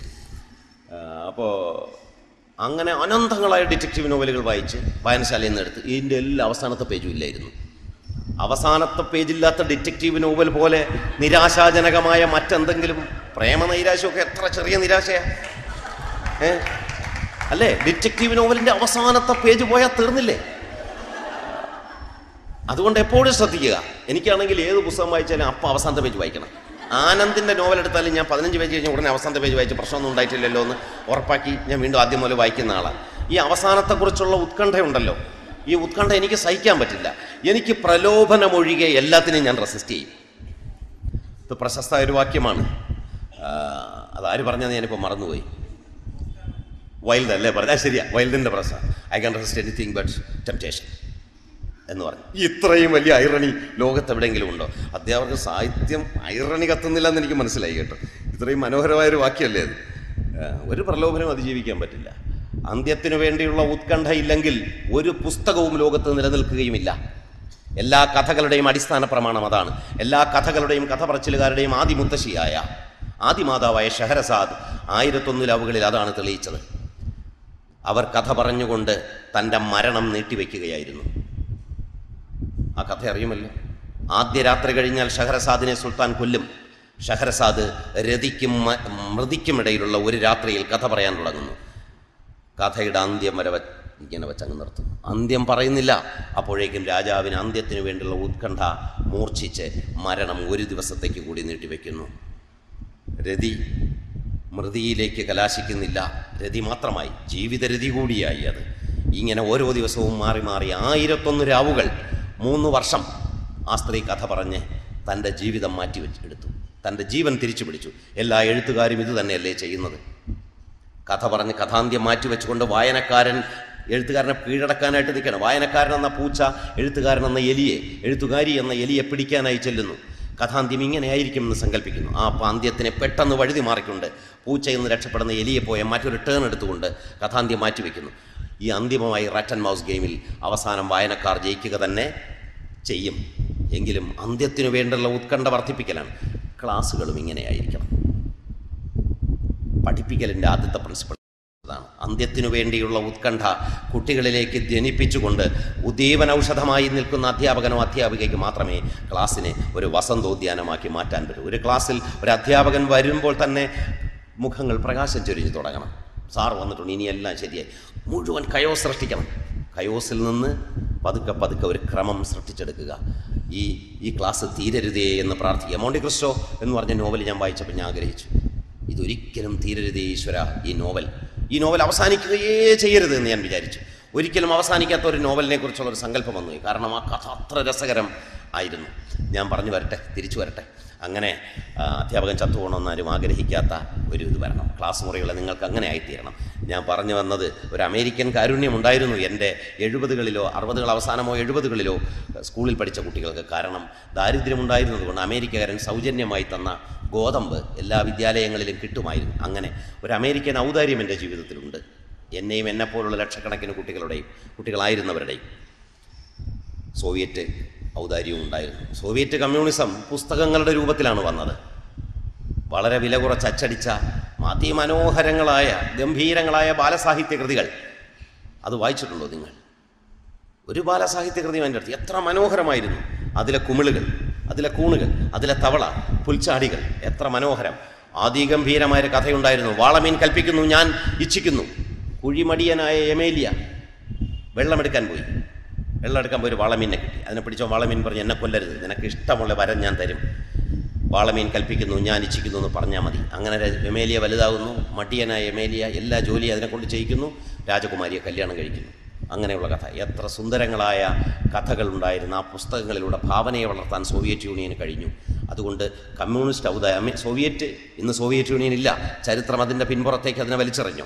അങ്ങനെ സോവിയറ്റ് യൂണിയന്റെ ഔദാര്യവും ഉണ്ടായിരുന്നു. ഇങ്ങനെ രണ്ട് ഔദാര്യങ്ങളിൽ കഷ്ടിച്ച് കടന്നു പോന്ന ഈ വിദ്യാഭ്യാസ സമ്പ്രദായത്തിനോട് എനിക്ക് നന്ദിയുണ്ട്. ഇന്നത്തെ പോലെ കുട്ടികളെയൊക്കെ ഇങ്ങനെ സൂക്ഷിച്ച് അവരുടെ കാര്യത്തിനനുസരിച്ച് ഒന്നും വളർത്തിയ ഒരു കാലമല്ല. നിങ്ങളൊക്കെ അങ്ങനെ ആയിരിക്കുമല്ലോ? അടിയൊക്കെ കിട്ടി വളർന്നല്ലേ അല്ല നിങ്ങളൊക്കെ നല്ല പഠിക്കുന്ന കുട്ടികളായിരുന്നുകൊണ്ട് അടിയൊന്നും കിട്ടിക്കാണില്ല. ഞാൻ പഠിക്കില്ലായിരുന്നു എന്നുള്ളത് കൊണ്ടും പഠിക്കാൻ ഉദ്ദേശിക്കുന്നില്ലായിരുന്നത് കൊണ്ടും എനിക്ക് അടിയൊക്കെ കിട്ടിയിരുന്നു. പ്രധാന അടികളിലെല്ലാം പങ്കെടുക്കുകയും ചെയ്തിരുന്നു ഞാൻ. അപ്പോൾ ഇതൊക്കെ പങ്കെടുത്തെങ്കിൽ ഈ സ്കൂളുകൾ വളരെ ദയാപൂർവം എന്നെ ഇങ്ങോട്ട് എത്തിച്ചു. ഇത് എത്തിച്ചതിന്റെ അടിസ്ഥാനം ഞാൻ പറഞ്ഞില്ലേ ക്ലാസ്സുകളെ പ്രകാശപൂരിതമാക്കണമെങ്കിൽ നിങ്ങൾ പഠിപ്പിക്കുന്ന ഏത് കഠിന വിഷയത്തിലേക്കും നിങ്ങൾ സ്നേഹത്തിന്റെ ഒരു അംശം കാരുണ്യത്തിന്റെ ഒരു അംശം കൗതുകത്തിന്റെ അംശം കൊണ്ടുവരിക. ട്രിവിയ കൊണ്ട് ഒരു പ്രയോജനവും ലോകത്തില്ല. ഈ പൂമ്പാറ്റ ബാലരമ ബാലഭൂമി മാസികരൊക്കെ സൈഡിൽ ഒരു കൊച്ചു ബോക്സ് വരെ ഒന്ന് കൊടുക്കുമല്ലോ. അമേരിക്ക ഒരുത്തിന് മൂന്ന് പല്ലുണ്ടായിരുന്നു എന്നൊക്കെ പറഞ്ഞു. പിള്ളേർക്ക് അത് വായിക്കാൻ ഇഷ്ടം. ആ ട്രിവിയ കൊണ്ട് ഒരു പ്രയോജനവുമില്ല അത് വിജ്ഞാനമല്ല. പക്ഷേ ട്രിവിയയ്ക്ക് ഒരു സുഖമുണ്ട് കൗതുകം വർദ്ധിപ്പിക്കും. ഈ ക്ലാസ്സുകൾ അങ്ങനെ. കോട്ടയം പുഷ്പാതിന്റെ കഥ പറഞ്ഞത് പൈലി എന്നൊരു സാറാണ് കണക്ക് പഠിപ്പിക്കുന്നത്. സാറ് കണക്ക് പറയുന്നതിന് മുമ്പ് ഷെർലക് ഹോംസിന്റെ ഒരു കഥ പറയും. ഷെർലക് ഹോംസിന്റെ ഒരു അവസർപ്പക കഥ പറഞ്ഞ് അതിന്റെ ആ സസ്പെൻസ് എത്തുന്നിടത്ത് വെച്ച് കഥ അങ്ങ് നിർത്തിക്കളയും. ഇനി കണക്ക് ചെയ്യാന്ന് പറയും. ഇത് പഠിച്ച ബാക്കി കഥ. സാറേ ആ കഥയും പറഞ്ഞു തരാൻ പറയും. ഈ അന്ത്യത്തിന് വേണ്ടിയുള്ള ഉത്കണ്ഠ കൊണ്ട് എരിഞ്ഞു പൊട്ടിയിരിക്കുകയല്ലേ കുട്ടികൾ. കപ്പലണ്ടി പൊട്ടും പോലെ പൊട്ടുന്നതാ. പറ്റൂല കണക്ക് ചെയ്യാൻ പറയും. എല്ലാ ആളുകളും കണക്ക് പഠിച്ചു. എന്ന് പറഞ്ഞ് ഞാനിത് പറഞ്ഞുകൊണ്ട് നാളെ എല്ലാവരും കൂടി ഷെർലക് ഹോംസ് വായന തുടങ്ങിയിട്ടൊന്നും കാര്യമില്ല. അങ്ങനെ കുട്ടികളെ കണക്കിലേക്ക് കൊണ്ടുവന്നു. എല്ലാ കുട്ടികളും കണക്ക് ചെയ്തു. മണ്ടന്മാർ പോലും കണക്ക് ചെയ്തു. ഈ കഥ കേൾക്കണം എന്നുള്ള വിചാരം. അതുകൊണ്ട് ക്ലാസ്സുകൾ കഥ പറയാനുള്ളവയല്ലായിരിക്കാം. എന്നാൽ ക്ലാസ്സുകൾ സ്നേഹോദാരങ്ങളും അനുതാപം നിറഞ്ഞവയും ആയിത്തീരാനുള്ള ശേഷി ഈശ്വരൻ തരട്ടെ. ഈശ്വരൻ മാത്രമല്ല ചാവറയച്ചൻ കൂടി തരട്ടെ. കാരണം അച്ചടിയുടെ വിശുദ്ധനാണ്. കോങ്കണ്ണ് മാറിയിട്ടാണ് വിശുദ്ധ പദവി കിട്ടിയതെന്നാണ് ഞാൻ പത്രത്തിൽ വായിച്ചത്. ഇനിയിപ്പം നാട്ടുകാർ മുഴുവൻ കോങ്കണ്ണ് മാറാനായിട്ട് അച്ഛനെ പ്രാർത്ഥിക്കാൻ തുടങ്ങി. അച്ഛനെ പ്രാർത്ഥിക്കേണ്ടതില്ല. അക്ഷരം തെളിയാനായിട്ട് മലയാളത്തിൽ ആർക്കെങ്കിലും പ്രാർത്ഥിക്കണമെങ്കിൽ അത് കേരളത്തിന്റെ അച്ചടി പാരമ്പര്യവും വിദ്യാദാന പാരമ്പര്യവും തുടങ്ങുകയും കേരളത്തിന്റെ നവോത്ഥാനത്തിന് മോഡേണിറ്റിക്ക് അടിത്തറയിടുകയും ചെയ്ത ചാവറയച്ചനെ പ്രാർത്ഥിച്ചുകൊണ്ട് വേണം അത് ചെയ്യേണ്ടത്. അത് ക്രിസ്ത്യാനികൾക്ക് മാത്രമല്ല ഹിന്ദുക്കൾക്കും മുസ്ലിങ്ങൾക്കുമൊക്കെ ചെയ്യാവുന്നതേ ഉള്ളൂ. കാരണം ഒരു മലയാളി ആദ്യമായിട്ട് അച്ചടി തുടങ്ങിയത്. അച്ചടി വിദ്യാഭ്യാസം പുസ്തകം എന്നിവയിലൂടെ. പത്തൊമ്പതാം നൂറ്റാണ്ടിന്റെ അവസാനം കേരളത്തിൽ ഒരു നവതരംഗം വരികയും അതുവരെ ഉണ്ടായിരുന്ന മനുഷ്യർ ഇന്നത്തെ മനുഷ്യരിലേക്ക് വിവർത്തനം ചെയ്യപ്പെടുകയും ചെയ്തത് ചാവറയച്ചനെ പോലുള്ള ആളുകൾ ശ്രമിച്ചതുകൊണ്ടാണ് പത്തൊമ്പതാം നൂറ്റാണ്ടിന്റെ മധ്യവർഷങ്ങളിൽ നടന്ന ഈ പ്രവർത്തനത്തിനാണ് മോഡേണിറ്റി എന്ന് പറയുക. ഞാൻ ഇവിടെ സംസാരിക്കാമെന്ന് പറഞ്ഞ വിഷയം അച്ചടിയും ആധുനികതയും ആധുനികത്വവും എന്നാണ്. Printing and modernity in Kerala അതാണ് ഞാൻ പറയാൻ വന്ന വിഷയം. അത് വിദ്യാഭ്യാസവുമായി ബന്ധപ്പെട്ട ഒന്നാണെന്ന് വിചാരിക്കുന്നു. നിങ്ങൾ ഞാൻ മോഡേണിറ്റി എന്ന് പറയുമ്പോൾ അതിനെ ലിറ്ററേച്ചറിലെയും കലയിലെയും മോഡേണിസവുമായി തെറ്റിപ്പോകരുത്. ലിറ്ററേച്ചറിലും കലയിലുമൊക്കെയുള്ള ഒരു മൂവ്മെന്റിന്റെ പേരാണ് മോഡേണിസം ഒ വി വിജയനും എം മുകുന്ദനും എഴുതിയ നോവലുകളും കടമൻ രാമകൃഷ്ണ അയ്യപ്പപ്പണിക്കനും എഴുതിയ കവിതകളുമൊക്കെ മോഡേണിസത്തിന്റെ ഭാഗമാണ്. കാനായി കുഞ്ഞിരാമന്റെ ശില്പങ്ങൾ അടൂർ ഗോപാലകൃഷ്ണന്റെ സിനിമകൾ ഇതെല്ലാം മോഡേണിസത്തിന്റെ ഭാഗമാണ്. അതൊരു ആർട്ടിസ്റ്റിക് മൂവ്മെന്റ് ആണ്. എന്നാൽ മോഡേണിറ്റി അതല്ല. പൊതുവേ സോഷ്യൽ സയൻസസ് പഠിക്കുന്ന പഠിപ്പിക്കുന്ന ആളുകൾ ഇതിന് നവോത്ഥാനം എന്നാണ് പറയുക. അങ്ങനെ ഒരു വാക്കല്ലേ നിങ്ങൾ ഉപയോഗിക്കുന്ന കേരള നവോത്ഥാനം? ഇല്ലേ? നാരായണഗുരു ചട്ടമ്പി സ്വാമി ആനന്ദതീർത്ഥൻ എന്നൊക്കെ പറഞ്ഞ് കുറേ ആളുകളുടെ പേരൊക്കെ പറയില്ലേ? സന്യാസിമാർ എന്തൊക്കെ ചെയ്തു എന്നൊക്കെ പറയാറുണ്ട്. ഇല്ലേ? ഇല്ല കേട്ടിട്ടില്ല. സയൻസാന്ന് പറയും ഞാൻ. ഏഹ് ചോദിച്ചപ്പോൾ ഞാൻ സയൻസ് ആ വഴിയൊന്നും പോകില്ല എന്ന് പറയും ഏഹ് സയൻസുകാർക്കും ഒക്കെ. കവിത മലയാളം ക്ലാസ്സിൽ പഠിപ്പിക്കാവുള്ളല്ലോ ഇംഗ്ലീഷ് ക്ലാസ്സിൽ കവിത എല്ലാ മനുഷ്യനും വേണ്ടിയല്ലേ എഴുതുന്നത് വലിയ കവിയായിരുന്നു ടി എസ് എലിയട്ട് ജോലി എന്തായിരുന്നു എന്നറിയാവോ ബാങ്കിലെ ക്ലാർക്കായിരുന്നു കേരളത്തിലെ ഏറ്റവും പ്രധാനപ്പെട്ട നോവലിസ്റ്റ് ഒരു ബാങ്കിന്റെ ചെയർമാനായിരുന്നു കോപ്പറേറ്റീവ് ബാങ്കിന്റെ അല്ല വലിയ നാഷണലൈസ്ഡ് ബാങ്കിന്റെ ആരാ? എ സേതുമാധവൻ. നോവൽ എഴുതുമ്പോൾ സേതു എന്ന് പേരിടും. ബാങ്ക് ചെയർമാൻ എന്ന് പറഞ്ഞാൽ ചില്ലറ പണിയല്ല കേട്ടോ. ഏ? എൻ എസ് മാധവനല്ലേ? ഹിഗിറ്റ എന്ന കഥ എഴുതിയ മാധവന്റെ ജോലി എന്തായിരുന്നു? ചീഫ് സെക്രട്ടറി ആയിരുന്നു. ബീഹാർ എന്ന് പറഞ്ഞ സ്റ്റേറ്റിന്റെ കേരളത്തിലെ ചീഫ് സെക്രട്ടറി ആണെങ്കിൽ മര്യാദയ്ക്ക് സ്വസ്ഥമായിട്ടിരിക്കും. ബീഹാറിലെ വല്ലതും നടക്കുമോ ബീഹാറിലെ ഇലക്ഷൻ കമ്മീഷണർ കൂടിയായിരുന്നു അദ്ദേഹം. അങ്ങനെ പ്രധാനപ്പെട്ട പല ആളുകളും ലോകത്തെ ഏറ്റവും സുന്ദരമായ ബാലസാഹിത്യകൃതി എഴുതിയത് ഒരു കണക്ക് സാറായിരുന്നു എന്നറിയാമോ? Alice in Wonderland. Lewis Carroll ഗണിതശാസ്ത്രത്തിന്റെ പ്രൊഫസറായിരുന്നു. അതുകൊണ്ടാണ് ഇത്രയും നല്ല ഭാവനയുണ്ട് ഇത്രയും വിചിത്രമായി ചിരിക്കുന്ന വാച്ച് നോക്കുന്ന മുയൽ. ഇസ്പേഡ് ഗുലാൻ ആർദൻ റാണി ഒക്കെ എഴുതാൻ കഴിഞ്ഞത് ഗണിതശാസ്ത്രം. നമ്മുടെ കണക്ക് സാർമാർ അങ്ങനെയൊന്നും എഴുതാൻ ഒരു സാധ്യതയും ഞാൻ കാണുന്നില്ല. കണക്ക് പഠിക്കുക എൺപത്തഞ്ച് എളുപ്പ വഴികൾ കണക്കിലെ കളികൾ കണക്കിലെ മാന്ത്രികത്വം എന്നൊക്കെ പറഞ്ഞ് രണ്ട് ലക്ഷം പുസ്തകം എഴുതും. കണ്ടിട്ടില്ലേ? കുട്ടികൾ ആ പുസ്തകം ഏതെങ്കിലും വായിച്ചിട്ടുള്ളതായിട്ട് ഓർമ്മയുണ്ട? നമ്മൾ ഏത് ബാലസാഹിത്യ പുസ്തകം വാങ്ങാൻ പോയാലും അവിടെ കണക്കിനെ കുറിച്ച് ഒരു അമ്പത് പുസ്തകം കാണും. ഇല്ലേ? അതാരും നിങ്ങളെങ്കിലും വായിച്ചിട്ടുണ്ടോ? ശരിക്കും കണക്ക് ആർക്കും വായിക്കാൻ പറ്റില്ല ഇത്. കാരണം ലോകത്താരെങ്കിലും പഠിക്കാൻ വേണ്ടി പുസ്തകം വായിക്കുമോ നമ്മൾ പുസ്തകം വായിക്കുന്നത് എന്തിനാ? രസിക്കാൻ വേണ്ടി മാത്രമാണ്. സംശയമുണ്ടോ കാര്യത്തിൽ? കഥകൾ പറയണം അതിനാണല്ലോ മനുഷ്യജന്മം രസകരമാകിയ കഥകൾ പറയണം അതിനാണല്ലോ മനുഷ്യജന്മം എന്ന് അപ്പോൾ രസകരമായിട്ടുള്ള കഥ പറയണം. അപ്പോൾ ആ കഥയിലേക്ക് അതാണ് എന്റെ ലക്ഷ്യം. പോട്ടെ. നവോത്ഥാനം എന്ന വാക്ക് ഉപയോഗിക്കുന്നത് ശരിയായൊരു കാര്യമല്ല. അതൊരു ഫോ ഒരു ഒരു യൂറോപ്യൻ ആസ്പദമുള്ള വാക്കാണ്. കാരണം നവോത്ഥാനം എന്ന് കേട്ട് നമ്മൾ റിനസാൻസ് എന്ന വാക്കിന് ഓർമ്മ വരും അല്ലേ? റിനസാൻസ് എന്ന് പറഞ്ഞാൽ സിക്സ്റ്റീൻത് സെഞ്ചുറി മുതൽ യൂറോപ്പിൽ പ്രത്യേകിച്ചും ഇറ്റലി കേന്ദ്രമാക്കി ഉണ്ടായ ഒരു കലാപ്രസ്ഥാനത്തിന്റെയും ശാസ്ത്ര പ്രസ്ഥാനത്തിന്റെയും ചരിത്രമാണ്. പള്ളിയെയും വേദപുസ്തകത്തിനും ഉണ്ടായിരുന്ന പ്രാധാന്യം തിരസ്കരിച്ചുകൊണ്ട് മനുഷ്യനും മനുഷ്യന്റെ യുക്തിക്കും പ്രാധാന്യം നൽകിക്കൊണ്ട് ഒരുപാട് ചിത്രകാരന്മാർ. ലിയനാർഡോ ദവിൻചി റഫയേൽ റംബ്രാന്ത് അങ്ങനെയുള്ള ചിത്രകാരൻ മൈക്കലാഞ്ചലു തുടങ്ങിയ ചിത്രകാരന്മാർ കൊണ്ടുവന്ന ഒരു വലിയ വിപ്ലവം. ഗലീലിയോ ഗലീലിയെയും ജോർദാനോ ബ്രൂണോയെയും പോലുള്ള സയന്റിസ്റ്റുകൾ കൊണ്ടുവന്ന വലിയ വിപ്ലവം. അന്ന് വരെ ഉണ്ടായിരുന്ന കത്തോലിക്ക സഭയുടെ ക്യാനോനകളെ മുഴുവൻ കത്തോലിക്ക സഭ ഉണ്ടാക്കി യൂറോപ്പിൽ ഉണ്ടാക്കി വെച്ചിരുന്ന വിശ്വാസ സംഹിതകളെ മുഴുവൻ തിരസ്കരിച്ചു കൊണ്ടുവന്ന ആ മൂവ്മെന്റിനെയാണ് റെനസാൻസ് അല്ലെങ്കിൽ നവോത്ഥാനം എന്ന് പറയുക. അതിനെ അതേപടി കേരളത്തിൽ പത്തൊമ്പതാം നൂറ്റാണ്ടിലുണ്ടായ മാറ്റം. അതിന് ഈ വാക്കെടുത്ത് നമ്മൾ പണ്ട് ചരിത്രകാരന്മാരിട്ട് പോയി അത് ശരിയല്ല. ആ കലാപ്രസ്ഥാനവും ഇതും ഒന്നല്ല. ഇത് സാമൂഹികമായൊരു മൂവ്മെന്റാണ് അതായത് അനീതി നിറഞ്ഞ സമൂഹത്തിൽ നിന്ന് അടിമകളായിരുന്ന അന്ധത നിറഞ്ഞിരുന്ന മനുഷ്യരെ അറിവില്ലായ്മ കൊണ്ട് കഷ്ടപ്പെട്ടിരുന്ന വെറും ശരീരങ്ങൾ മാത്രമായിരുന്ന മനുഷ്യരെ ശരീരത്തിന് പോലും വിലയില്ലാതിരുന്ന മനുഷ്യരെ.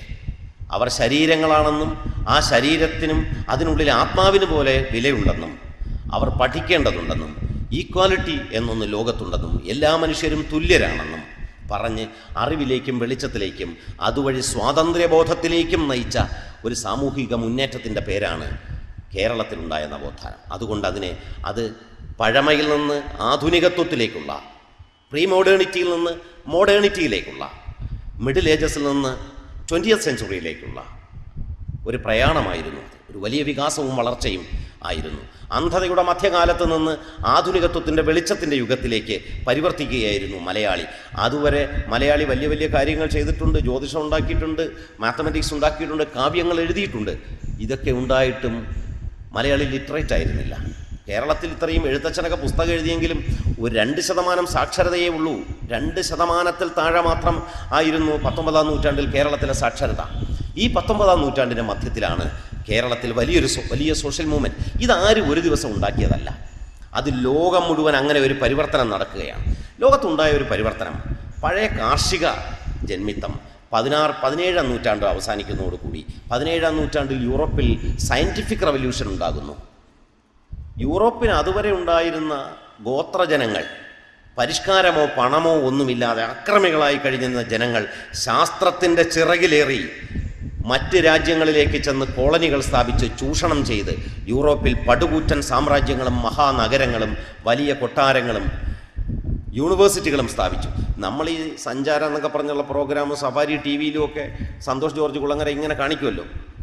പോർച്ചുഗലിലെ കൊയിംബ്ര യൂണിവേഴ്സിറ്റി നല്ലതാണെന്നൊക്കെ പറഞ്ഞ് നമ്മൾ അന്ത കിട്ടും എന്തോ ചന്തമുള്ള കെട്ട്? ഇത് മുഴുവൻ ഉണ്ടാക്കിയത് പൗരസ്ത്യ ദേശത്തെയും ആഫ്രിക്കയിലെയും റിസോഴ്സസ് കൊണ്ടാണ്. ചൂഷണത്തിൽ നിന്നുണ്ടാക്കിയതാണ് നമ്മുടെ പണം നമുക്ക് വിവരമില്ലാത്തത് കൊണ്ട് ഇവിടെ വന്ന് മോഷ്ടിച്ചു കൊണ്ടുപോയി അവർ ഉണ്ടാക്കിയെടുത്ത സർവകലാശാലകളാണ് അതിന് അവർ ക്വാളിറ്റി എഡ്യൂക്കേഷൻ ശ്രദ്ധിച്ചു. അതിന്റെ കൂടെ അവർ മതപ്രചാരകരെ കൊണ്ടുവന്നു. സയൻസിന്റെ ചിറകിലേറി വന്ന് കോളനികൾ സ്ഥാപിച്ച അവരെ ആധുനികത്വത്തിന്റെ അംശം കൂടി അവരുടെ നാട്ടിൽ നിന്ന് ഇവിടെ കൊണ്ടുവന്നു. ആധുനികത്വം എന്ന് പറയുന്ന അന്ന് വരെ ഉണ്ടായിരുന്ന സയന്റിഫിക് റവല്യൂഷൻ വന്നതോടുകൂടി അന്ന് വരെ ഉണ്ടായിരുന്ന കാർഷിക ജീവിതം അവസാനിക്കുകയും കാർഷിക മൂലധനത്തിന് പകരം വ്യവസായ മൂലധനം കടന്നു വരികയും ചെയ്തു. വലിയ പരിവർത്തനമാണ്. അതുവരെ ഉണ്ടായിരുന്ന കാർഷിക മൂലധന അതോടുകൂടി ഇൻഡസ്ട്രിയൽ ക്യാപിറ്റലിസം വരുന്നു. ഇൻഡസ്ട്രിയൽ ക്യാപ് ഇൻഡസ്ട്രി വരുന്നു. വ്യവസായവൽക്കരണം വരും അങ്ങനെ അഗ്രേറിയൻ കൾച്ചറിൽ നിന്ന് ക്യാപിറ്റൽ ഇൻഡസ്ട്രിയൽ കൾച്ചറിലേക്കുള്ള ഈ വലിയ പരിവർത്തനത്തെയാണ് മോഡേണിറ്റി എന്ന് പറയുന്നത്. അതുവരെ ദൈവമായിരുന്നു പ്രധാന സ്ഥാനത്ത് ചർച്ചായിരുന്നു പ്രധാന സ്ഥാനത്ത് മതസ്ഥാപനങ്ങളായിരുന്നു പ്രധാന സ്ഥാനത്ത് ദൈവികമായ ലോജിക്കായിരുന്നു ഏറ്റവും പ്രധാന സ്ഥാനത്ത്. എന്നാൽ സയന്റിഫിക് റവല്യൂഷൻ വരുന്നതോടുകൂടി മോഡേണിറ്റി വരുന്നതോടുകൂടി ഹ്യൂമൻ ലോജിക്കിന് പ്രാധാന്യം കിട്ടി റീസൺ എന്നൊരു സംഗതിയുണ്ട് എന്ന് തത്വചിന്തയിൽ പറയും. നമ്മൾ ഏത് കാര്യവും പറയുമ്പോഴും നമ്മൾ പറയൂലേ അതൊരു ഒരു ഒരു ഒരു യുക്തിയില്ല എന്ന് പറയുന്നത് പറയില്ലേ? എവിടുന്ന് വന്നത് യുക്തി? എന്ത് യുക്തിയാണ് പൂവിരിയുന്നതിനുള്ളത്? അടുത്തടുത്ത് ഒരമ്മ പ്രസവിച്ച രണ്ട് മക്കൾക്ക് ഒരേ സ്വഭാവമില്ല. എന്തുകൊണ്ട്? യുക്തിയൊന്നുമില്ല അതിന് എങ്കിലും യുക്തി എന്നൊരു സംഗതിയെക്കുറിച്ച് നാം എപ്പോഴും പറഞ്ഞുകൊണ്ടേയിരിക്കുന്നു. ഇല്ലേ? പൊളി പറഞ്ഞാലും പൊരുന്ത പറയണമെന്നൊരു ചൊല്ല് തന്നെയുണ്ട് മലയാളത്തിൽ. കള്ളം പറഞ്ഞാലും അത് വിശ്വസനീയമായി പറയണം. ഒരു സിനിമയാണ് ഇത് വിശ്വസിക്കാൻ കൊള്ളൂല വിശ്വസനീയല്ല നമ്മൾ പറയുന്നതിന് യുക്തിയില്ലാത്തത് കൊണ്ട്. റീസൺ എന്ന് പറയുന്നത് പതിനഞ്ചാം പതിനാറാം നൂറ്റാണ്ടിൽ യൂറോപ്പിൽ തത്വചിന്തകരും മാത്തമെറ്റീഷ്യൻസും ചേർന്ന് കണ്ടുപിടിച്ച ഒന്നാണ്. മനുഷ്യന് യുക്തി വേണം. ദക്കാർത്ത് പറഞ്ഞു I think therefore I exist Descartes പറഞ്ഞ ഫിലോസഫർ പറഞ്ഞ അതാണ് I think therefore I exist ഞാൻ ചിന്തിക്കുന്നു അതുകൊണ്ട് ഞാൻ ഉണ്ട്. ചിന്തിക്ക അത് റീസണാണ് അങ്ങനെ യുക്തിയുടെ അടിസ്ഥാനത്തിൽ ചിന്തിച്ചു വന്ന ഒരു ലോകം. അത് മനുഷ്യനെക്കുറിച്ച് പുതിയ സങ്കല്പങ്ങൾ കൊണ്ടുവന്നു. ആ സങ്കല്പങ്ങൾ നമ്മുടെ നാട്ടിലേക്ക് വന്നത് കൊളോണിയലിസത്തിലൂടെയാണ്. കൊളോണിയലിസം കൊണ്ടുവന്ന ഈ ആധുനികത്വത്തെ നമുക്ക് കൊളോണിയൽ മോഡേണിറ്റി എന്ന് വിളിക്കും. ഈ കൊളോണിയൽ മോഡേണിറ്റി കേരളത്തിൽ വരുന്നത് മതപ്രചാരകരിലൂടെയാണ്. നിയമ നടപടികളുടെ പരിഷ്കരണത്തിലൂടെ. ആയിരത്തി എണ്ണൂറ്റി പതിനൊന്നിൽ തിരുവനന്ത തിരുവിതാംകൂറിൽ കേണൽ മൺട്രോ എന്ന് പറഞ്ഞ ബ്രിട്ടീഷുകാരൻ ദിവാനായി അദ്ദേഹം ചട്ടവരിയോലകൾ എന്ന് പറഞ്ഞൊരു മുപ്പത്തി രണ്ട് നിയമങ്ങൾ എഴുതിയുണ്ടാക്കി. അന്ന് വരെ കേരളത്തിലെ രാജാക്കന്മാർ എഴുതപ്പെട്ട ഒരു നിയമത്തെ ആധാരമാക്കിയല്ല ശിക്ഷകൾ വിധിച്ചിരുന്നത്. ജൈമിനീയ സംഹിത പരാശര സംഹിത തുടങ്ങിയ പ്രാചീന ഭാരത് സംസ്കൃതത്തിലുള്ള പ്രാചീന ഭാരതീയ നിയമാവലികളുണ്ട്. പത്തോ രണ്ടായിരമോ വർഷം പഴക്കമുള്ള ബ്രാഹ്മണർക്കും രാജപക്ഷത്തിലുള്ള രാജാക്കന്മാർക്കുമൊക്കെ മാത്രം നീതി ലഭിക്കുന്ന ഈ സംഹിതകൾ വച്ച് പാവപ്പെട്ടവന് നേരെ കിട്ടുമോ കിട്ടൂല. അന്നത്തെ ശിക്ഷ അറിയാലോ. കള്ളം ചെയ്തെന്ന് പരിശോധിക്കും കുടത്തിൽ ഒരു പാമ്പിനെ ഇട്ടിട്ട് കൈയിടാൻ പറയും. കടി കൊണ്ടാൽ അവൻ കള്ളം ചെയ്തു. ശുചീന്ദ്രത്ത് പോയി കൈമുക്കാൻ പറയും. ശുചീന്ദ്ര കൈമുക്ക് കേട്ടിട്ടുണ്ടോ?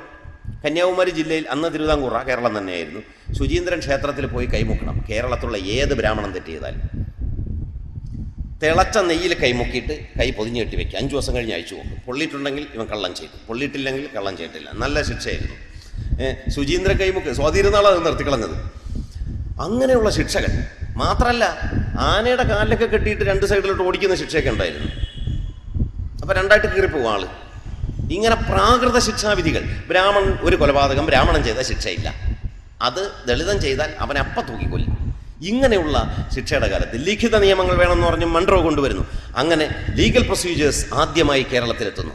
ഇതേ സമയത്ത് തന്നെയാണ് മറ്റൊരു രീതിയിൽ ചിന്തിക്കാം എന്ന് ആളുകൾക്ക് തോന്നിത്തുടങ്ങിയത്.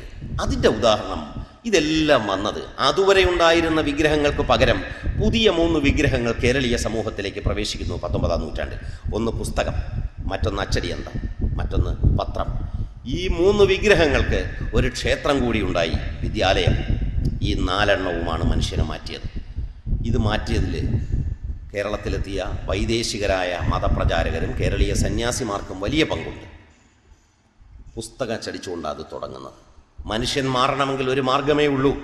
വിശക്കുന്ന മർത്യ പുസ്തകം കയ്യിലെടുത്തോളൂ പുത്തനരായുധമായത് മാറ്റൂ എന്നൊരു കവി എഴുതിയിട്ടുണ്ട്. നാടകകൃത്തായ കവി ജർമ്മൻ കവിയായ ബ്രഷ്തോൾ ബ്രഷ്ത്. ശാസ്ത്ര സാഹിത്യ പരിഷത്ത് പണ്ട് കേരളം മുഴുവൻ പാടിക്കൊണ്ട് നടന്ന ഒരു പാട്ടാണ് ഇത്.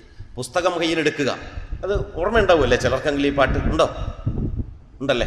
അപ്പോൾ ഈ ഈ പാട്ടിൽ പറയുന്നത് പോലെ പുസ്തകം കയ്യിലെടുക്കുക പുസ്തകം അച്ചടിക്കാൻ തീരുമാനിക്കുക. കേരളത്തിൽ അച്ചടികളുടെ ചരിത്രം നിങ്ങൾക്കെല്ലാം അറിയാം ഓർത്തോസ് മലബാർക്കൂസ് നസ്രാണികളൊക്കെ പറയുന്ന സംക്ഷേപ വേദാർത്ഥം എന്നൊക്കെ എല്ലാവരും പറയും. ആയിരത്തി എഴുന്നൂറ്റി എഴുപത്തിരണ്ടിൽ അച്ചടിച്ച സംക്ഷേപ വേദാർത്ഥമാണ് കേരളത്തിലെ മലയാളത്തിൽ അച്ചടിച്ച ആദ്യത്തെ പുസ്തകം റോമിൽ അച്ചടിച്ചത്. എന്നാൽ പുസ്തകം കേരളത്തിലേക്ക് വരുന്നത് ബെഞ്ചമിൻ ബെയ്ലിയുടെ രൂപത്തിലാണ്. ബെയ്ലി സാഹിബിനെ അറിയാമല്ലോ. യോർക്ക്ഷയറുകാരനായ ആഢ്യനായിരുന്നു പ്രൊട്ടസ്റ്റന്റ് ആയിരുന്നു അദ്ദേഹം സി എം എസ് പ്രസ്താവിച്ചു. അവിടുന്ന് ഒരു പുസ്തകം അച്ചടിച്ച് ആയിരത്തി എണ്ണൂറ്റി ഇരുപത്തിനാലിൽ ഇരുന്നൂറ് വർഷം തികയാൻ ഇനി പത്ത് വർഷമേ ഉള്ളൂ. കേരളത്തിൽ ആദ്യമായി ഒരു പുസ്തകം അച്ചടിച്ചിട്ട് ഇരുന്നൂറ് വർഷമാകാൻ പോവുകയാണ്. പത്ത് വർഷം കൂടെ കഴിഞ്ഞാൽ ഇരുന്നൂറ് വർഷം പൂർത്തിയായി അത് ഒരു ബാലസാഹിത്യ കൃതിയായിരുന്നു. അതൊരു വിവർത്തന കൃതിയായിരുന്നു ചെറുപൈതങ്ങളുടെ ഉപകാരാർത്ഥം ഇംഗ്ലീഷിൽ നിന്ന് പരിഭാഷപ്പെടുത്തിയ കഥകൾ എന്നാണ് ആ പുസ്തകത്തിന്റെ മുഴുവൻ പേര്. ചുരുക്കി പറയണമെങ്കിൽ ചെറുപൈതങ്ങൾ എന്ന് പറഞ്ഞാൽ മതി. കോട്ടയത്ത് സ്വന്തമായിട്ടൊരു പ്രസ് ഉണ്ടാക്കി അദ്ദേഹം ഇത് അച്ചടിച്ചു. മലയാളത്തിൽ അക്ഷരങ്ങൾ കൊത്തി ഉണ്ടാക്കി. ഈ അക്ഷരങ്ങൾ കൊത്തി ഉണ്ടാക്കിയതിന്റെ പിന്നിലൊരു കഥയുണ്ട്. നമ്മൾ മലയാളം എഴുതുമ്പോൾ ചതുരായി പോകും ഷേപ്പ് അക്ഷരങ്ങൾക്ക് ചതുരാക്ഷരം വരും.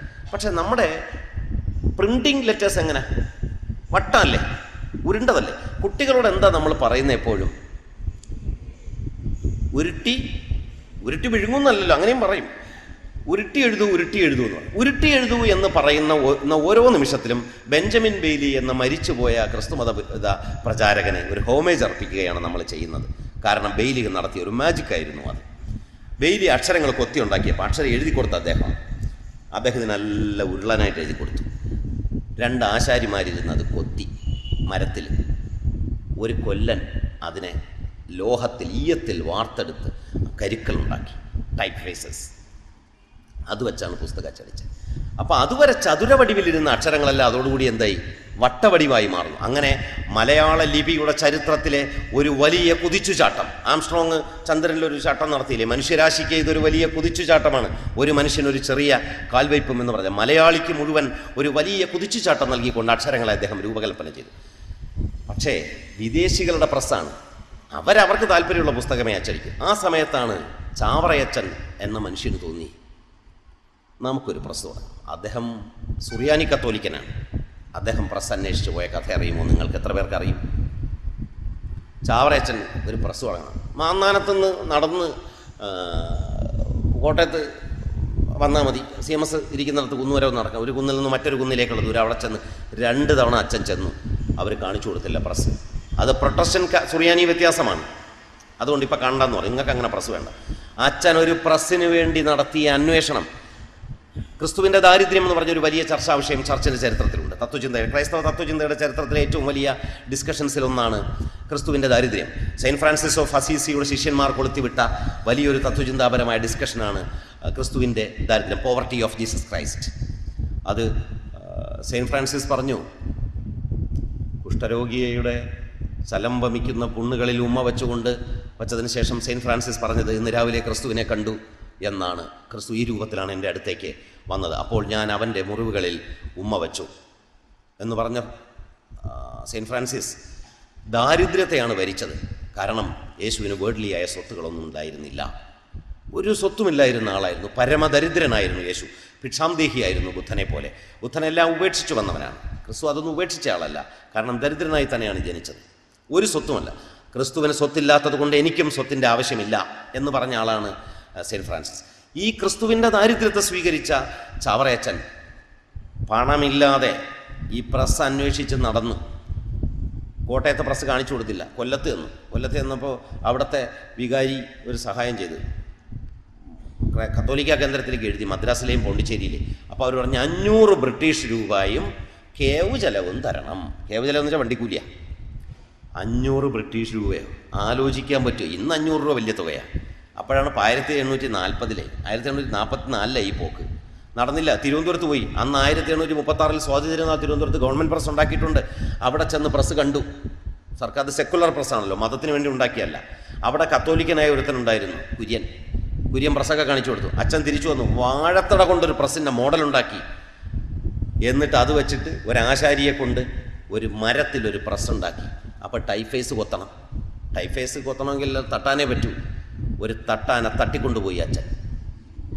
മലയാളത്തിന്റെ ചരിത്രത്തിൽ അക്ഷരത്തിന് വേണ്ടി നടന്ന ആദ്യത്തെ കിഡ്നാപ്പിംഗ് അതായിരുന്നു. എന്തൊരു ത്യാഗമാണ് തട്ടിക്കൊണ്ടുപോവുക. ഇന്ന് നിങ്ങൾ ആലോചിച്ച ബ്ലേഡ് മാഫിയക്കാരെ തട്ടിക്കൊണ്ടുപോയെന്നതാണ് നിങ്ങൾ വായിക്കുന്നത്. ഇതങ്ങനെയല്ല അക്ഷരം കൊത്തിയായ ഒരു തട്ടാനെ ശിവരാമൻ അയാളുടെ പേര്. ശിവരാമൻ തിരുവല്ലക്കാരനായിരുന്നു. ശിവരാമനെ പിടിച്ച് പുളിങ്കുന്നി കൊണ്ടു താമസിച്ചു. കുട്ടനാട്ടില കായൽ മാത്രമല്ല ഇന്നത്തെ പോലെ റോഡ് ഒന്നുമില്ല. പോകാനേ പറ്റില്ല ആരും അവിടെ ചെന്ന് പിടിക്കില്ല. സി എം എസ് പ്രസ്സിൽ അക്ഷരം കൊത്തിയ മനുഷ്യന്. അയാൾ ചതുരവടിവിൽ കൊത്തിക്കൊടുത്ത അക്ഷരങ്ങൾ കൊണ്ടാണ് ആയിരത്തി എണ്ണൂറ്റി നാൽപ്പത്തി ഏഴിൽ ആയിരത്തി എണ്ണൂറ്റി നാൽപ്പത്തി ഏഴിൽ പ്രസ് ഉണ്ടാക്കി മാന്നാരത്ത് സെയിന്റ് ജോസഫ്സ് എന്ന് പറഞ്ഞ അച്ചുകൂടം തുടങ്ങി. നാൽപ്പത്തി ഏഴിൽ ജ്ഞാനപീയൂഷം എന്ന പേരിൽ ഒരു പുസ്തകം ഒരു തമിഴ് ക്രിസ് പുസ്തകത്തിന്റെ ട്രാൻസ്ലേഷനാണ് ക്രിസ്ത്യാനികൾക്ക് ഒരു ജപപുസ്തകം ചാവറേശൻ അച്ചടിച്ചു. ഈ അച്ചടിച്ചത് ഒരു മലയാളി ആദ്യമായി പ്രിന്റ് ചെയ്യുകയാണ്. അതിനു മുമ്പ് പ്രസ് ഉണ്ടാക്കിയതൊക്കെ വിദേശികളാണ്. ഇതൊരു മലയാളി മലയാളത്തിലൊരു പുസ്തകം ഉണ്ടാക്കുന്നു അങ്ങനെ കേരളത്തിന്റെ പുസ്തക പ്രസാധന പാരമ്പര്യം അവിടെ തുടങ്ങുന്നു. ആ പാരമ്പര്യത്തെയാണ് നിങ്ങൾ നിങ്ങളുടെ വിദ്യാലയങ്ങളിലൂടെ പിൻപറ്റിക്കൊണ്ടിരിക്കുന്നത്. അതുമാത്രമല്ല ചാവറയച്ചൻ മാന്നാനത്തൊരു സ്കൂളങ്ങ് തുടങ്ങാൻ തീരുമാനിച്ചു. C B S E syllabus കണ്ടുപിടിച്ചിട്ടില്ലായിരുന്നതിനാൽ English പഠിക്കേണ്ടതില്ല എന്ന് തീരുമാനിക്കുകയും ഇംഗ്ലീഷ് പഠിക്കുന്നതിനെക്കുറിച്ച് പിന്നീട് അദ്ദേഹം ചെയ്തു. അദ്ദേഹം ഒരു സംസ്കൃത വിദ്യാലയമാണ് തുടങ്ങി. ഇന്ന് എത്ര ക്രൈസ്തവർ സംസ്കൃത വിദ്യാലയങ്ങൾ തുടങ്ങും എന്നെനിക്ക് സംശയമുണ്ട്. സ്കൂളിൽ സംസ്കൃതം ഒന്ന് പഠിപ്പിക്കാമെന്ന് തീരുമാനിച്ചത് ആർ എസ് എസിന്റെ ഭാഷയല്ലേ എന്ന് സംസാരിക്കുന്ന ക്രൈസ്തവർ ഒക്കെയുള്ള ന്യൂനപക്ഷ മതങ്ങളുള്ള കാലമാണ് ഇന്ന്. മാതൃഭാഷയായ മലയാളം നിർബന്ധമാക്കണം എന്ന് പറഞ്ഞപ്പോൾ നമ്മുടെ സ്വകാര്യ സ്കൂൾ മാനേജ്മെന്റുകൾ സുപ്രീം കോടതിയിലേക്ക് കേസ് മൂവ് ചെയ്തറിയാമോ ഇത് മാതൃഭാഷയെ തന്നെ പറയുന്നത് പക്ഷേ. മാതൃഭാഷയും ആവശ്യം വരും. നടന്നു പോകുമ്പോൾ തലയിൽ തേങ്ങ വീഴുകയോ മറിഞ്ഞു വീഴുകയോ ഒരുത്തനെ നാല് തെറി പറയണമെന്നോ പരദൂഷണം പറയണമെന്നോ ഏറ്റവും തീവ്രങ്ങളായ വികാരങ്ങൾ പ്രകടിപ്പിക്കേണ്ട സന്ദർഭം വരികയോ ചെയ്യുമ്പോൾ മാതൃഭാഷയെ ഉപകരിക്കുകയുള്ളൂ. അച്ഛൻ ചത്ത് കിടക്കുമ്പോൾ അച്ഛൻ മീൻസ് ഞാൻ നമ്മുടെ പിതാവിനെയാണ് ഉദ്ദേശിച്ചത് പുരോഹിതനെ അല്ല. അച്ഛനോ അമ്മയോ മരിച്ചു കിടക്കുമ്പോൾ അവിടെ ഇംഗ്ലീഷിൽ നിലവിളിക്കുന്നത് എങ്ങനെയാണ്? തമിഴിൽ പറ്റൂ മാതൃഭാഷയിലേ പറ്റൂ. പക്ഷേ മാതൃഭാഷയ്ക്കെതിരെ നമ്മുടെ സ്കൂൾ മാനേജ്മെന്റുകളാണ് കേസ് കൊടുത്തതെന്നും കൂടി നിങ്ങൾ ആലോചിക്കേണ്ടതുണ്ട്. ഈ ഇതൊരു ഒരു കൃതജ്ഞത എന്നൊരു വാക്കുണ്ട് മലയാളത്തിൽ. ഉച്ചരിക്കാൻ വിഷമം. ഇതിനെയാണ് കൃതജ്ഞത എന്ന് അപ്പം നന്ദികേട് എന്ന് പറയും. ഇതുവരെ നമ്മൾ ഉണ്ട് തിന്ന് ഉറങ്ങി വന്നത് ഈ ഭാഷയിലൂടെയാണ് അല്ലേ ഉറങ്ങുന്ന മലയാളത്തിലല്ലേ ഉറങ്ങാൻ പറ്റൂ? ഇംഗ്ലീഷിലൊന്ന് ഉറങ്ങി കാണിച്ചു തരാൻ പറ്റൂ. നിങ്ങൾക്ക് മറ്റൊരു ഭാഷയിൽ മൂരി നിവരാനോ കോട്ടുവായിടാനോ പറ്റുകയില്ല. മാതൃഭാഷയിൽ മാത്രമേ പറ്റൂ. കൊക്കരക്കം എന്ന് മാത്രമേ നമുക്ക് കോഴി കരച്ചിൽ എഴുതാൻ പറ്റൂ. Doo doo doo doo doo doo doodle എന്ന് എഴുതാൻ പറ്റും. ഇംഗ്ലീഷുകാരുടെ കോഴി അങ്ങനെ കരയുന്നത് അല്ലേ? അങ്ങനെ അത് ചെയ്യാൻ പറ്റില്ല. അപ്പോൾ മാതൃഭാഷ ഒരുത്തൻ രണ്ട് ചീത്ത പറയണമെങ്കിൽ മലയാളത്തിൽ തന്നെ പറയണം. ഇംഗ്ലീഷിൽ എത്ര ചീത്ത ഞാൻ കേട്ടിട്ടുണ്ട്. പറഞ്ഞോ പറഞ്ഞ് നമ്മളിരിക്കും. ഒരു വികാരവും ഇല്ല ഉണ്ടോ? ചില ആളുകൾ പറയില്ല സ്കൗണ്ടറൽ എന്നൊക്കെ പറഞ്ഞിട്ട് എന്തെങ്കിലും വികാരം നമുക്ക് തോന്നിയില്ല. ഇഡിയറ്റ് എന്നൊക്കെ പറഞ്ഞാൽ ചുമ്മാവും പറയട്ടെ എന്ന് വിചാരി എന്നാൽ മലയാളത്തിൽ ഒരെണ്ണം പറഞ്ഞാലുണ്ടല്ലോ. നമ്മൾ പിച്ചാത്തി ഊരും. ഇല്ലേ? അതാണ് ആ മാതൃഭാഷയുടെ ശക്തി. അപ്പം അതുകൊണ്ട് ഇതിനങ്ങനെ കളയരുത്. കണക്ക് പോലെ പ്രധാനമാണ് മാതൃഭാഷ. പിന്നെ എന്റെ ഒരു സംശയം ചോദിക്കാനാണ് വിദ്യാഭ്യാസത്തിന്റെ ഒരു എനിക്ക് അറിഞ്ഞുകൂടാത്തതുകൊണ്ട് ചോദിക്കുന്നത് അല്ല ഈ ഡോക്ടർമാരല്ലേ യഥാർത്ഥത്തിൽ മലയാളം പഠിക്കേണ്ടത്? കാരണം അവർ ഡോക്ടർമാർ പഠിക്കുന്ന പുസ്തകം ഇംഗ്ലീഷിൽ സർജറി മെഷീനൊക്കെ ഇംഗ്ലീഷിലാണ് പക്ഷെ രോഗികൾ നിരക്ഷരരാണല്ലോ. രോഗം പറയാൻ ചെല്ലുന്ന എൺപത്തഞ്ച് വയസ്സായ അമ്മക്കുട്ടി അമ്മ. ഇവിടെ ഒരു ഇതെന്നാ പറയുന്നത് ഏത്? ഇത് ഏത് മെഡിക്കൽ സയൻസിലെ ഇംഗ്ലീഷ് കൊണ്ട് നിങ്ങൾ മനസ്സിലാക്കും? നിങ്ങൾ കടൽ തീരത്തെ ഒരു മുക്കുവ ഗ്രാമത്തിലെ സാധാരണ വിദ്യാഭ്യാസം കുറഞ്ഞ ആളുകളെ ചികിത്സിക്കാൻ എത്തുന്ന ഡോക്ടർക്ക് അവരുടെ ഡയലക്റ്റ് അറിഞ്ഞുകൂടെങ്കിൽ ചികിത്സ മാറിപ്പോകാൻ സാധ്യതയില്ലേ? ഉണ്ടോ? ആദിവാസിയെ ചികിത്സിക്കാൻ പോകുന്നവൻ ദളിതനെ ചികിത്സിക്കുന്നവൻ വ്യത്യസ്തങ്ങളായ ജാതി സമൂഹങ്ങളെ സാമ്പത്തിക സമൂഹങ്ങളെ ചികിത്സിക്കുന്ന ഡോക്ടർമാർക്ക് അവരുടെ ഡയലക്റ്റുകൾ അവർ സംസാരിക്കുന്ന സാധാരണ മലയാളം അറിഞ്ഞുകൂടെങ്കിൽ എങ്ങനെയാണ് അവർക്ക് ചികിത്സിക്കാൻ കഴിയുക? വേദന വിവരിക്കാനാകുമോ?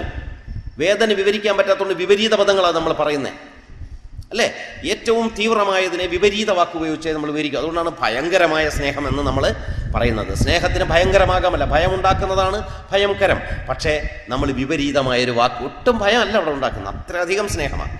അത് വിശേഷിപ്പിക്കാൻ വാക്ക് തികയുന്നില്ല. വാക്ക് തികയാത്തതുകൊണ്ട് അതിന്റെ നേരെ ഓപ്പോസിറ്റ് പദം എടുത്ത് പറയാം. അതാണ് ഭാഷ ഉപയോഗത്തിന്റെ ഒരു രീതി. അപ്പോൾ ഡോക്ടർമാർ മലയാളം പഠിക്കേണ്ടതാണ് എന്നാണ് എന്റെ അഭിപ്രായം. അത് ശരിയാണോ അല്ലേ? വേറെ ആരും പഠിച്ചില്ലെങ്കിൽ എം ബി ബി എസിന് മലയാളം വയ്ക്കേണ്ടതാണ്. കാരണം അവർക്ക് ചികിത്സ എഞ്ചിനീയർ ഇച്ചിരി ഇംഗ്ലീഷൊക്കെ പറഞ്ഞാലേ നമ്മൾ അഡ്ജസ്റ്റ് ചെയ്ത് പോകും നമുക്ക് മനസ്സിലായില്ലെങ്കിൽ സാരമില്ല. കാരണം അത് വീടിടിഞ്ഞു വീണാലേ കുഴപ്പമുള്ളൂ. മറ്റേ ശരീരം രക്ഷയില്ല. നമുക്ക് അസുഖം വരും വേദന വരുമ്പോൾ ലോകത്തുള്ള എല്ലാ കളിയും അവസാനിക്കും.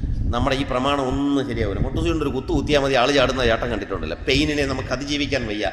പണ്ട് രമണ മഹർഷി പറഞ്ഞതുപോലെ രമണ മഹർഷിക്ക് അർബുദമായിരുന്നു. കഠോരമായ വേദന. മഹർഷിയോട് ചോദിച്ചു പെയിനില്ലേ? എന്ന് ചോദിച്ചു. അപ്പോൾ രമണ മഹർഷി പറഞ്ഞു there is pain but I have no pain വേദനയുണ്ട്? കയ്യിലായിരുന്നു. വേദനയുണ്ട് അവിടെ? പക്ഷെ എനിക്ക് വേദനയില്ല. എന്ന് പറഞ്ഞു. ആ സ്ഥിതിയിൽ നമുക്കെത്താൻ പറ്റൂലല്ലോ. പറ്റുമോ അത് സന്യാസത്തിന്റെയും തത്വചിന്തയുടെയും ഒരു പരകാഷ്ഠയിലെത്തിയ മനുഷ്യന്റെ ആത്മാനുഭവമാണ്. അത് നമുക്ക് പറ്റില്ല. പോട്ടെ അങ്ങനെ ചാവറയച്ചനെ പോലുള്ള ആളുകൾ പത്തൊമ്പതാം നൂറ്റാണ്ടിന്റെ മധ്യത്തിൽ വാഴത്തടയിൽ സൃഷ്ടിച്ച ഒരു മെഷീൻ ഉണ്ടല്ലോ. ഒരു വാഴത്തട വിപ്ലവം.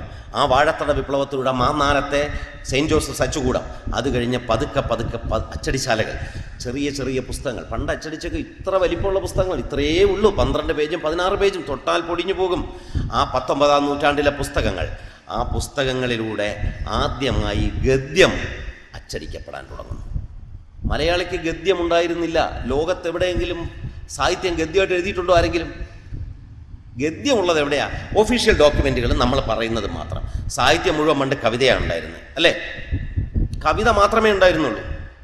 ഈ മനുഷ്യന് കവിത വായിച്ചുകൊണ്ട് കിടന്നുറങ്ങാൻ പറ്റും. കവിത നല്ല നോർമലായി ആരോഗ്യത്തോടെ ഇരുന്ന് കേൾക്കാവുന്ന ഒന്നാണ് രാത്രി കിടക്കാൻ നേരത്ത് നളയരുത് നാലാം ദിവസം വായിച്ച് കിടന്നുറങ്ങാനൊന്നും പറ്റുമെന്ന് തോന്നുന്നില്ല. കിടന്നുറങ്ങാൻ വേണ്ടി ചില പ്രത്യേക പുസ്തകങ്ങളുണ്ട് ഇല്ലേ? ഞാനിപ്പോഴും ഉറങ്ങാൻ വേണ്ടി വെച്ചിരുന്ന വ്ളാദിമർ പോപ്പ് എന്ന് പറഞ്ഞ തത്വചിന്തന്റെ പുസ്തകമാണ് ഞാൻ അത് വായിക്കാൻ തുടങ്ങി അപ്പോൾ ഉറങ്ങിപ്പോകും എന്നുള്ളതുകൊണ്ടാണ് ഞാനത് വെച്ചിരിക്കുന്നത്. മൂന്ന് വരി കൂടുതൽ ഇതുവരെ വായിച്ചിട്ടില്ല. വർഷങ്ങളായി വായിച്ചുകൊണ്ടിരിക്കുകയാണ് ഒരു പേജ് നീങ്ങിയിട്ടില്ല. ഉറങ്ങും അപ്പോഴും തന്നെ. കാരണം ഗണിതശാസ്ത്ര മാത്തമെറ്റിക്കൽ ഫിലോസഫറാണ് മൊത്തം ഗണിതശാസ്ത്ര തത്വങ്ങളിലൂടെയാണ് പ്രോപ്പർ എല്ലാ കാര്യങ്ങളെയും വിശദീകരിക്കുന്നത്. അതുകൊണ്ട് ആ പുസ്തകമാണ് ഞാൻ വെച്ച് നിങ്ങൾക്ക് അങ്ങനെ പുസ്തകമില്ല. എപ്പോഴും ഉറങ്ങാൻ വേണ്ടി നിങ്ങളൊരു പുസ്തകം വായിക്കണം പാലൊന്നും കുടിച്ചിട്ട് ഒരു കാര്യമില്ല. ഒരു കഠോരമായ പുസ്തകം എടുത്ത് വയ്ക്കുക. ചില ആളുകൾ അങ്ങനെ പുസ്തകങ്ങൾ എഴുതിയിട്ടുണ്ട്. നമ്മൾ ഉറക്കാൻ വേണ്ടിയുള്ള താരാട്ട് പോലെ മനോഹരങ്ങളാണ് ആ പുസ്തകങ്ങൾ. കണ്ട മതി ഉറങ്ങിപ്പോവും. പിന്നെ കുഴപ്പമില്ല അധ്യാപകരാണ് ചില പുസ്തകം വായിക്കുന്ന ശീലം ഉണ്ടാവില്ല. അതുകൊണ്ട് ആ പ്രശ്നം എന്നാ അധ്യാപകർ വായിക്കേണ്ടതില്ലല്ലോ. കാരണം അവരെല്ലാവരും വായിക്കാൻ ആഹ്വാനം ചെയ്താൽ മതി. ശരി ഞാൻ മടങ്ങി വരട്ടെ. അപ്പോൾ ഈ മോഡേണിറ്റി ചില ആശയങ്ങൾ കൊണ്ടുവരുന്നു. അത് ഗദ്യം കൊണ്ടുവരുന്നു. ഗദ്യം വന്നപ്പോൾ പത്രങ്ങൾ ഉണ്ടാകാൻ തുടങ്ങുന്നു. പത്രങ്ങൾ ലോകത്തെക്കുറിച്ച് ആളുകളോട് സംസാരിക്കുന്നു. ഗുണ്ടർട്ടുണ്ടാക്കിയ രാജ്യസമാചാരമാണ് ആദ്യത്തെ പത്രം എന്നൊക്കെ നിങ്ങൾ ജനറൽ നോളജ് പഠിച്ചാണ്. അത് പത്രമൊന്നും ആയിരുന്നില്ല. അത് ഈ പത്രപ്രവർത്തന ചരിത്രത്തിലും പി എസ് സി പരീക്ഷയ്ക്കൊക്കെ എഴുതാൻ കൊള്ളാന്നുള്ളേ ഉള്ളൂ. അത് പത്രമൊന്നും അല്ല അത്. അത് ക്രിസ്തുമതം പ്രചരിപ്പിക്കാൻ വേണ്ടി കുറച്ച് കാര്യങ്ങൾ അതിനകത്ത് എഴുതിയിട്ടുണ്ടെന്നേ ഉള്ളൂ. പത്രമൊക്കെ തുടങ്ങിയത് കണ്ടത്തിൽ വർഗീസ് മാപ്പിള ആയിരത്തി എണ്ണൂറ്റി എൺപത്തിരണ്ടിൽ കൊച്ചിയിൽ നിന്ന് കേരളമിത്രം എന്ന് പറഞ്ഞ പത്രവും ആയിരത്തി എണ്ണൂറ്റി എൺപത്തി നാലിൽ രണ്ട് വർഷം കഴിഞ്ഞിട്ട് ഈ കോഴിക്കോട്ട് നിന്ന് ചെങ്കളത്ത് വലിയ കുഞ്ഞിരാമമേനോൻ എന്ന് പറഞ്ഞ ആൾ തുടങ്ങിയ കേരള പത്രികയുമാണ് കേരളത്തിലെ പത്രപ്രവർത്തനം തുടങ്ങിയത്. അത് കഴിഞ്ഞ് ദീപിക വന്നു മനോരമയും വന്നു. ചാവറയച്ച ഉണ്ടാക്കിയ വാഴത്തടയിൽ നിന്ന് തടി ഉണ്ടാക്കിയ പ്രസ്സിലാണ് ദീപിക അച്ചടിച്ചു തുടങ്ങിയെന്ന് നിങ്ങൾ മനസ്സിലാക്കണം. ആ പ്രസ്സിലാണ് ആദ്യത്തെ പത്ത് വർഷം മുഴുവൻ ആ ദീപിക അച്ചടിച്ചത്. ഇങ്ങനെ പത്രം വരുന്നു പുതിയ ആശയങ്ങൾ വരുന്നു. അത് മനുഷ്യനെക്കുറിച്ചുള്ള പുതിയ സങ്കല്പങ്ങൾ കൊണ്ടുവരുന്നു. തൊലി നിറത്തിന്റെ അടിസ്ഥാനത്തിലോ ജാതിയുടെ അടിസ്ഥാനത്തിലോ വേർതിരിച്ച് നിർത്തേണ്ടവനല്ല മനുഷ്യൻ എന്ന ആശയം ആദ്യമായി കടന്നു വരുന്നത് ഈ വിദ്യാഭ്യാസത്തിലൂടെയും പുസ്തകത്തിലൂടെയും ഗദ്യത്തിലൂടെയുമാണ്. ആ ആശയം പറഞ്ഞവരാണ് ശ്രീനാരായണ ഗുരുവും ചട്ടമ്പി സ്വാമിയും ബ്രഹ്മാനന്ദ ശിവയോഗിയും ഉൾപ്പെടെയുള്ള സന്യാസിമാർ. അതേ ആശയം തന്നെയാണ് സാധാരണ മനുഷ്യർക്കിടയിൽ പ്രവർത്തിച്ച് വിദ്യാഭ്യാസ സംസ്കൃത വിദ്യാഭ്യാസം തുടങ്ങുന്ന സ്ത്രീകൾക്ക് വേണ്ടി കോൺഗ്രഗേഷൻ തുടങ്ങുന്ന മതപ്രവർത്തന രംഗത്ത് പ്രേക്ഷിത പ്രവർത്തന രംഗത്ത് ക്രൈസ്തവ സന്യാസ ജീവിത രംഗത്ത് സ്ത്രീകൾക്ക് വേണ്ടിയുള്ള കോൺഗ്രഗേഷൻ തുടങ്ങുന്ന ചാവറയച്ചൻ ചെയ്തത്. ഇതുപോലെ ഒട്ടേറെ മനുഷ്യർ പക്ഷേ കേരളത്തിന്റെ നവോത്ഥാന ചരിത്രം നോക്കിയാൽ ചാവറയച്ചന് വലിയ സ്ഥാനം ഈ പുസ്തകങ്ങളിലൊന്നും ഉള്ളതായി കാണുകയില്ല.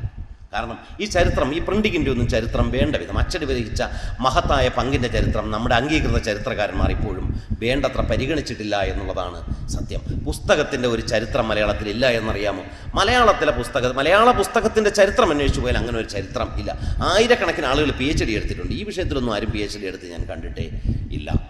മാത്രമല്ല ശരീരത്തെക്കുറിച്ചുള്ള പുതിയ ആശയങ്ങൾ വരുന്നു. ശരീരത്തെക്കുറിച്ചുള്ള പുതിയ ആശയം നഗ്നതയുമായി ബന്ധപ്പെട്ടതാണ്. മാർ മറയ്ക്കണോ വേണ്ടേ എന്നുള്ളതില്ല സ്ത്രീ ശരീരത്തെക്കുറിച്ചുള്ള ഒരു വലിയ ഡിസ്കോഴ്സ് പത്തൊമ്പതാം നൂറ്റാണ്ടിന്റെ മധ്യത്തിൽ ആരംഭിച്ചു.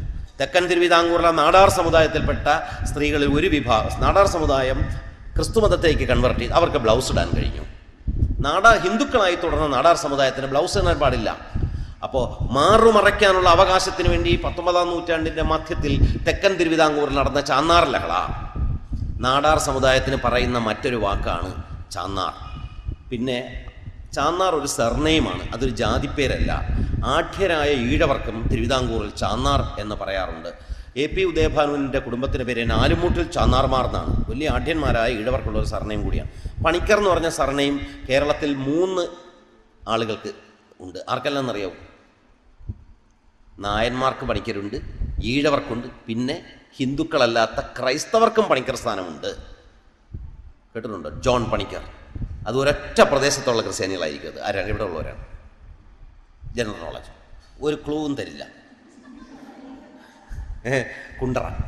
കൊല്ലത്തെ കുണ്ടറയിലുള്ള ക്രൈസ്തവർക്കാണ് പണിക്കർ സ്ഥാനമുള്ളത്. അത് തിരുവിതാംകൂർ രാജാക്കന്മാർ കൊടുത്തതാണ്. മീരാൻ പിള്ള എന്നു പേരുള്ള മുസ്ലിങ്ങളെ കണ്ടിട്ടില്ലേ?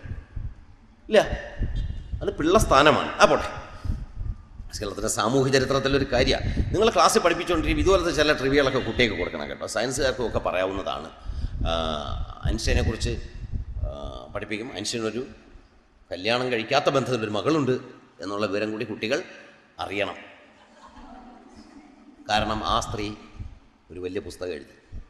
അൻഷന്റെ കുട്ടിയെക്കുറിച്ചൊരു വലിയ പുസ്തകം ഈ അടുത്ത സമയത്ത് യൂറോപ്പിൽ വന്നു. വലിയ ചർച്ചാ വിഷയമായ പുസ്തകമാണ് പോട്ടെ. ഞാൻ വന്നത്.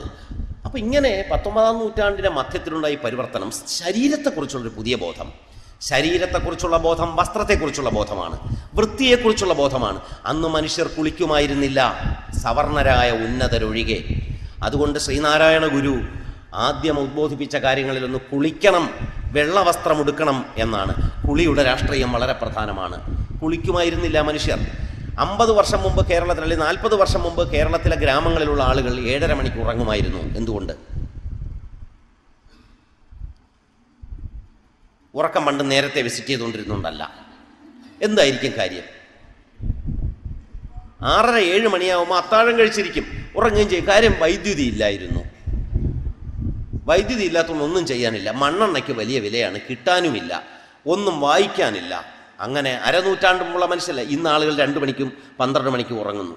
അല്ലേ? ടെലിവിഷൻ ഉണ്ടായിരുന്നില്ല. എല്ലാ വീടുകളിലും റേഡിയോ ഉണ്ടായിരുന്നില്ല. അങ്ങനെയുള്ള അപ്പോൾ കുളിക്കാൻ ആളുകൾ പറയുന്നു ശ്രീനാരായണ ഗുരു ചട്ടമ്പി സ്വാമിയെ ഒരിക്കലും കാവി ഉടുത്തിട്ടില്ല എന്ന് നിങ്ങൾക്കറിയാമോ?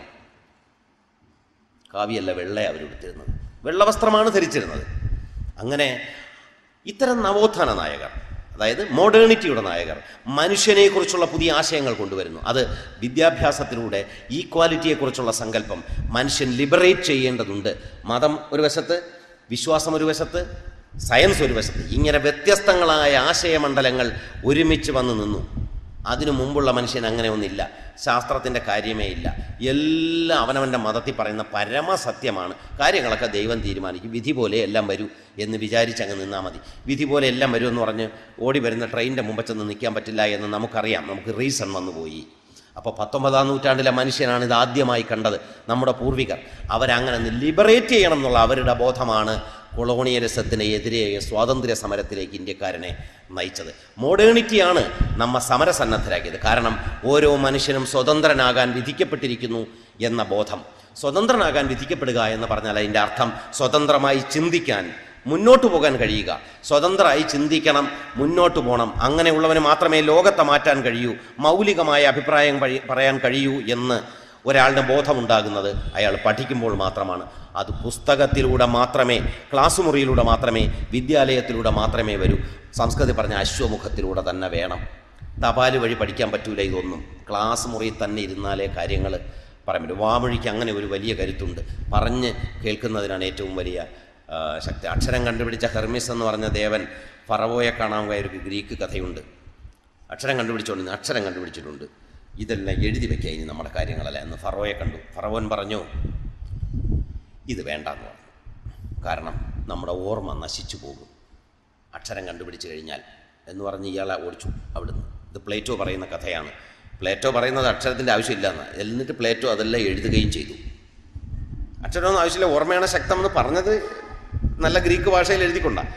അപ്പം അങ്ങനെ മനുഷ്യന്റെ ഫാക്കൾട്ടികളെ ശക്തമാകത്തല്ല ലിബറേഷനെ കുറിച്ച് സ്വതന്ത്ര മനുഷ്യരെ സൃഷ്ടിക്കുന്നതിന് കഴിയുന്ന ആളുകളായി നിങ്ങൾക്ക് മാറണമെങ്കിൽ അത് നിങ്ങൾ ഈ മോഡേണിറ്റിയുടെ മൂല്യം ഉൾക്കൊള്ളുക. മോഡേണിറ്റിയുടെ മൂല്യം ഉൾക്കൊള്ളുക എന്ന് പറഞ്ഞാൽ അത് ഓരോ മനുഷ്യനും സ്വതന്ത്രനായ റീസണുള്ള മനുഷ്യരാണെന്നും അവന് മുന്നോട്ട് പോയി ലോകത്തെ മാറ്റുകയാണ് അവന്റെ യഥാർത്ഥ ബാധ്യത എന്നും അറിയുക എന്നുള്ളതാണ്.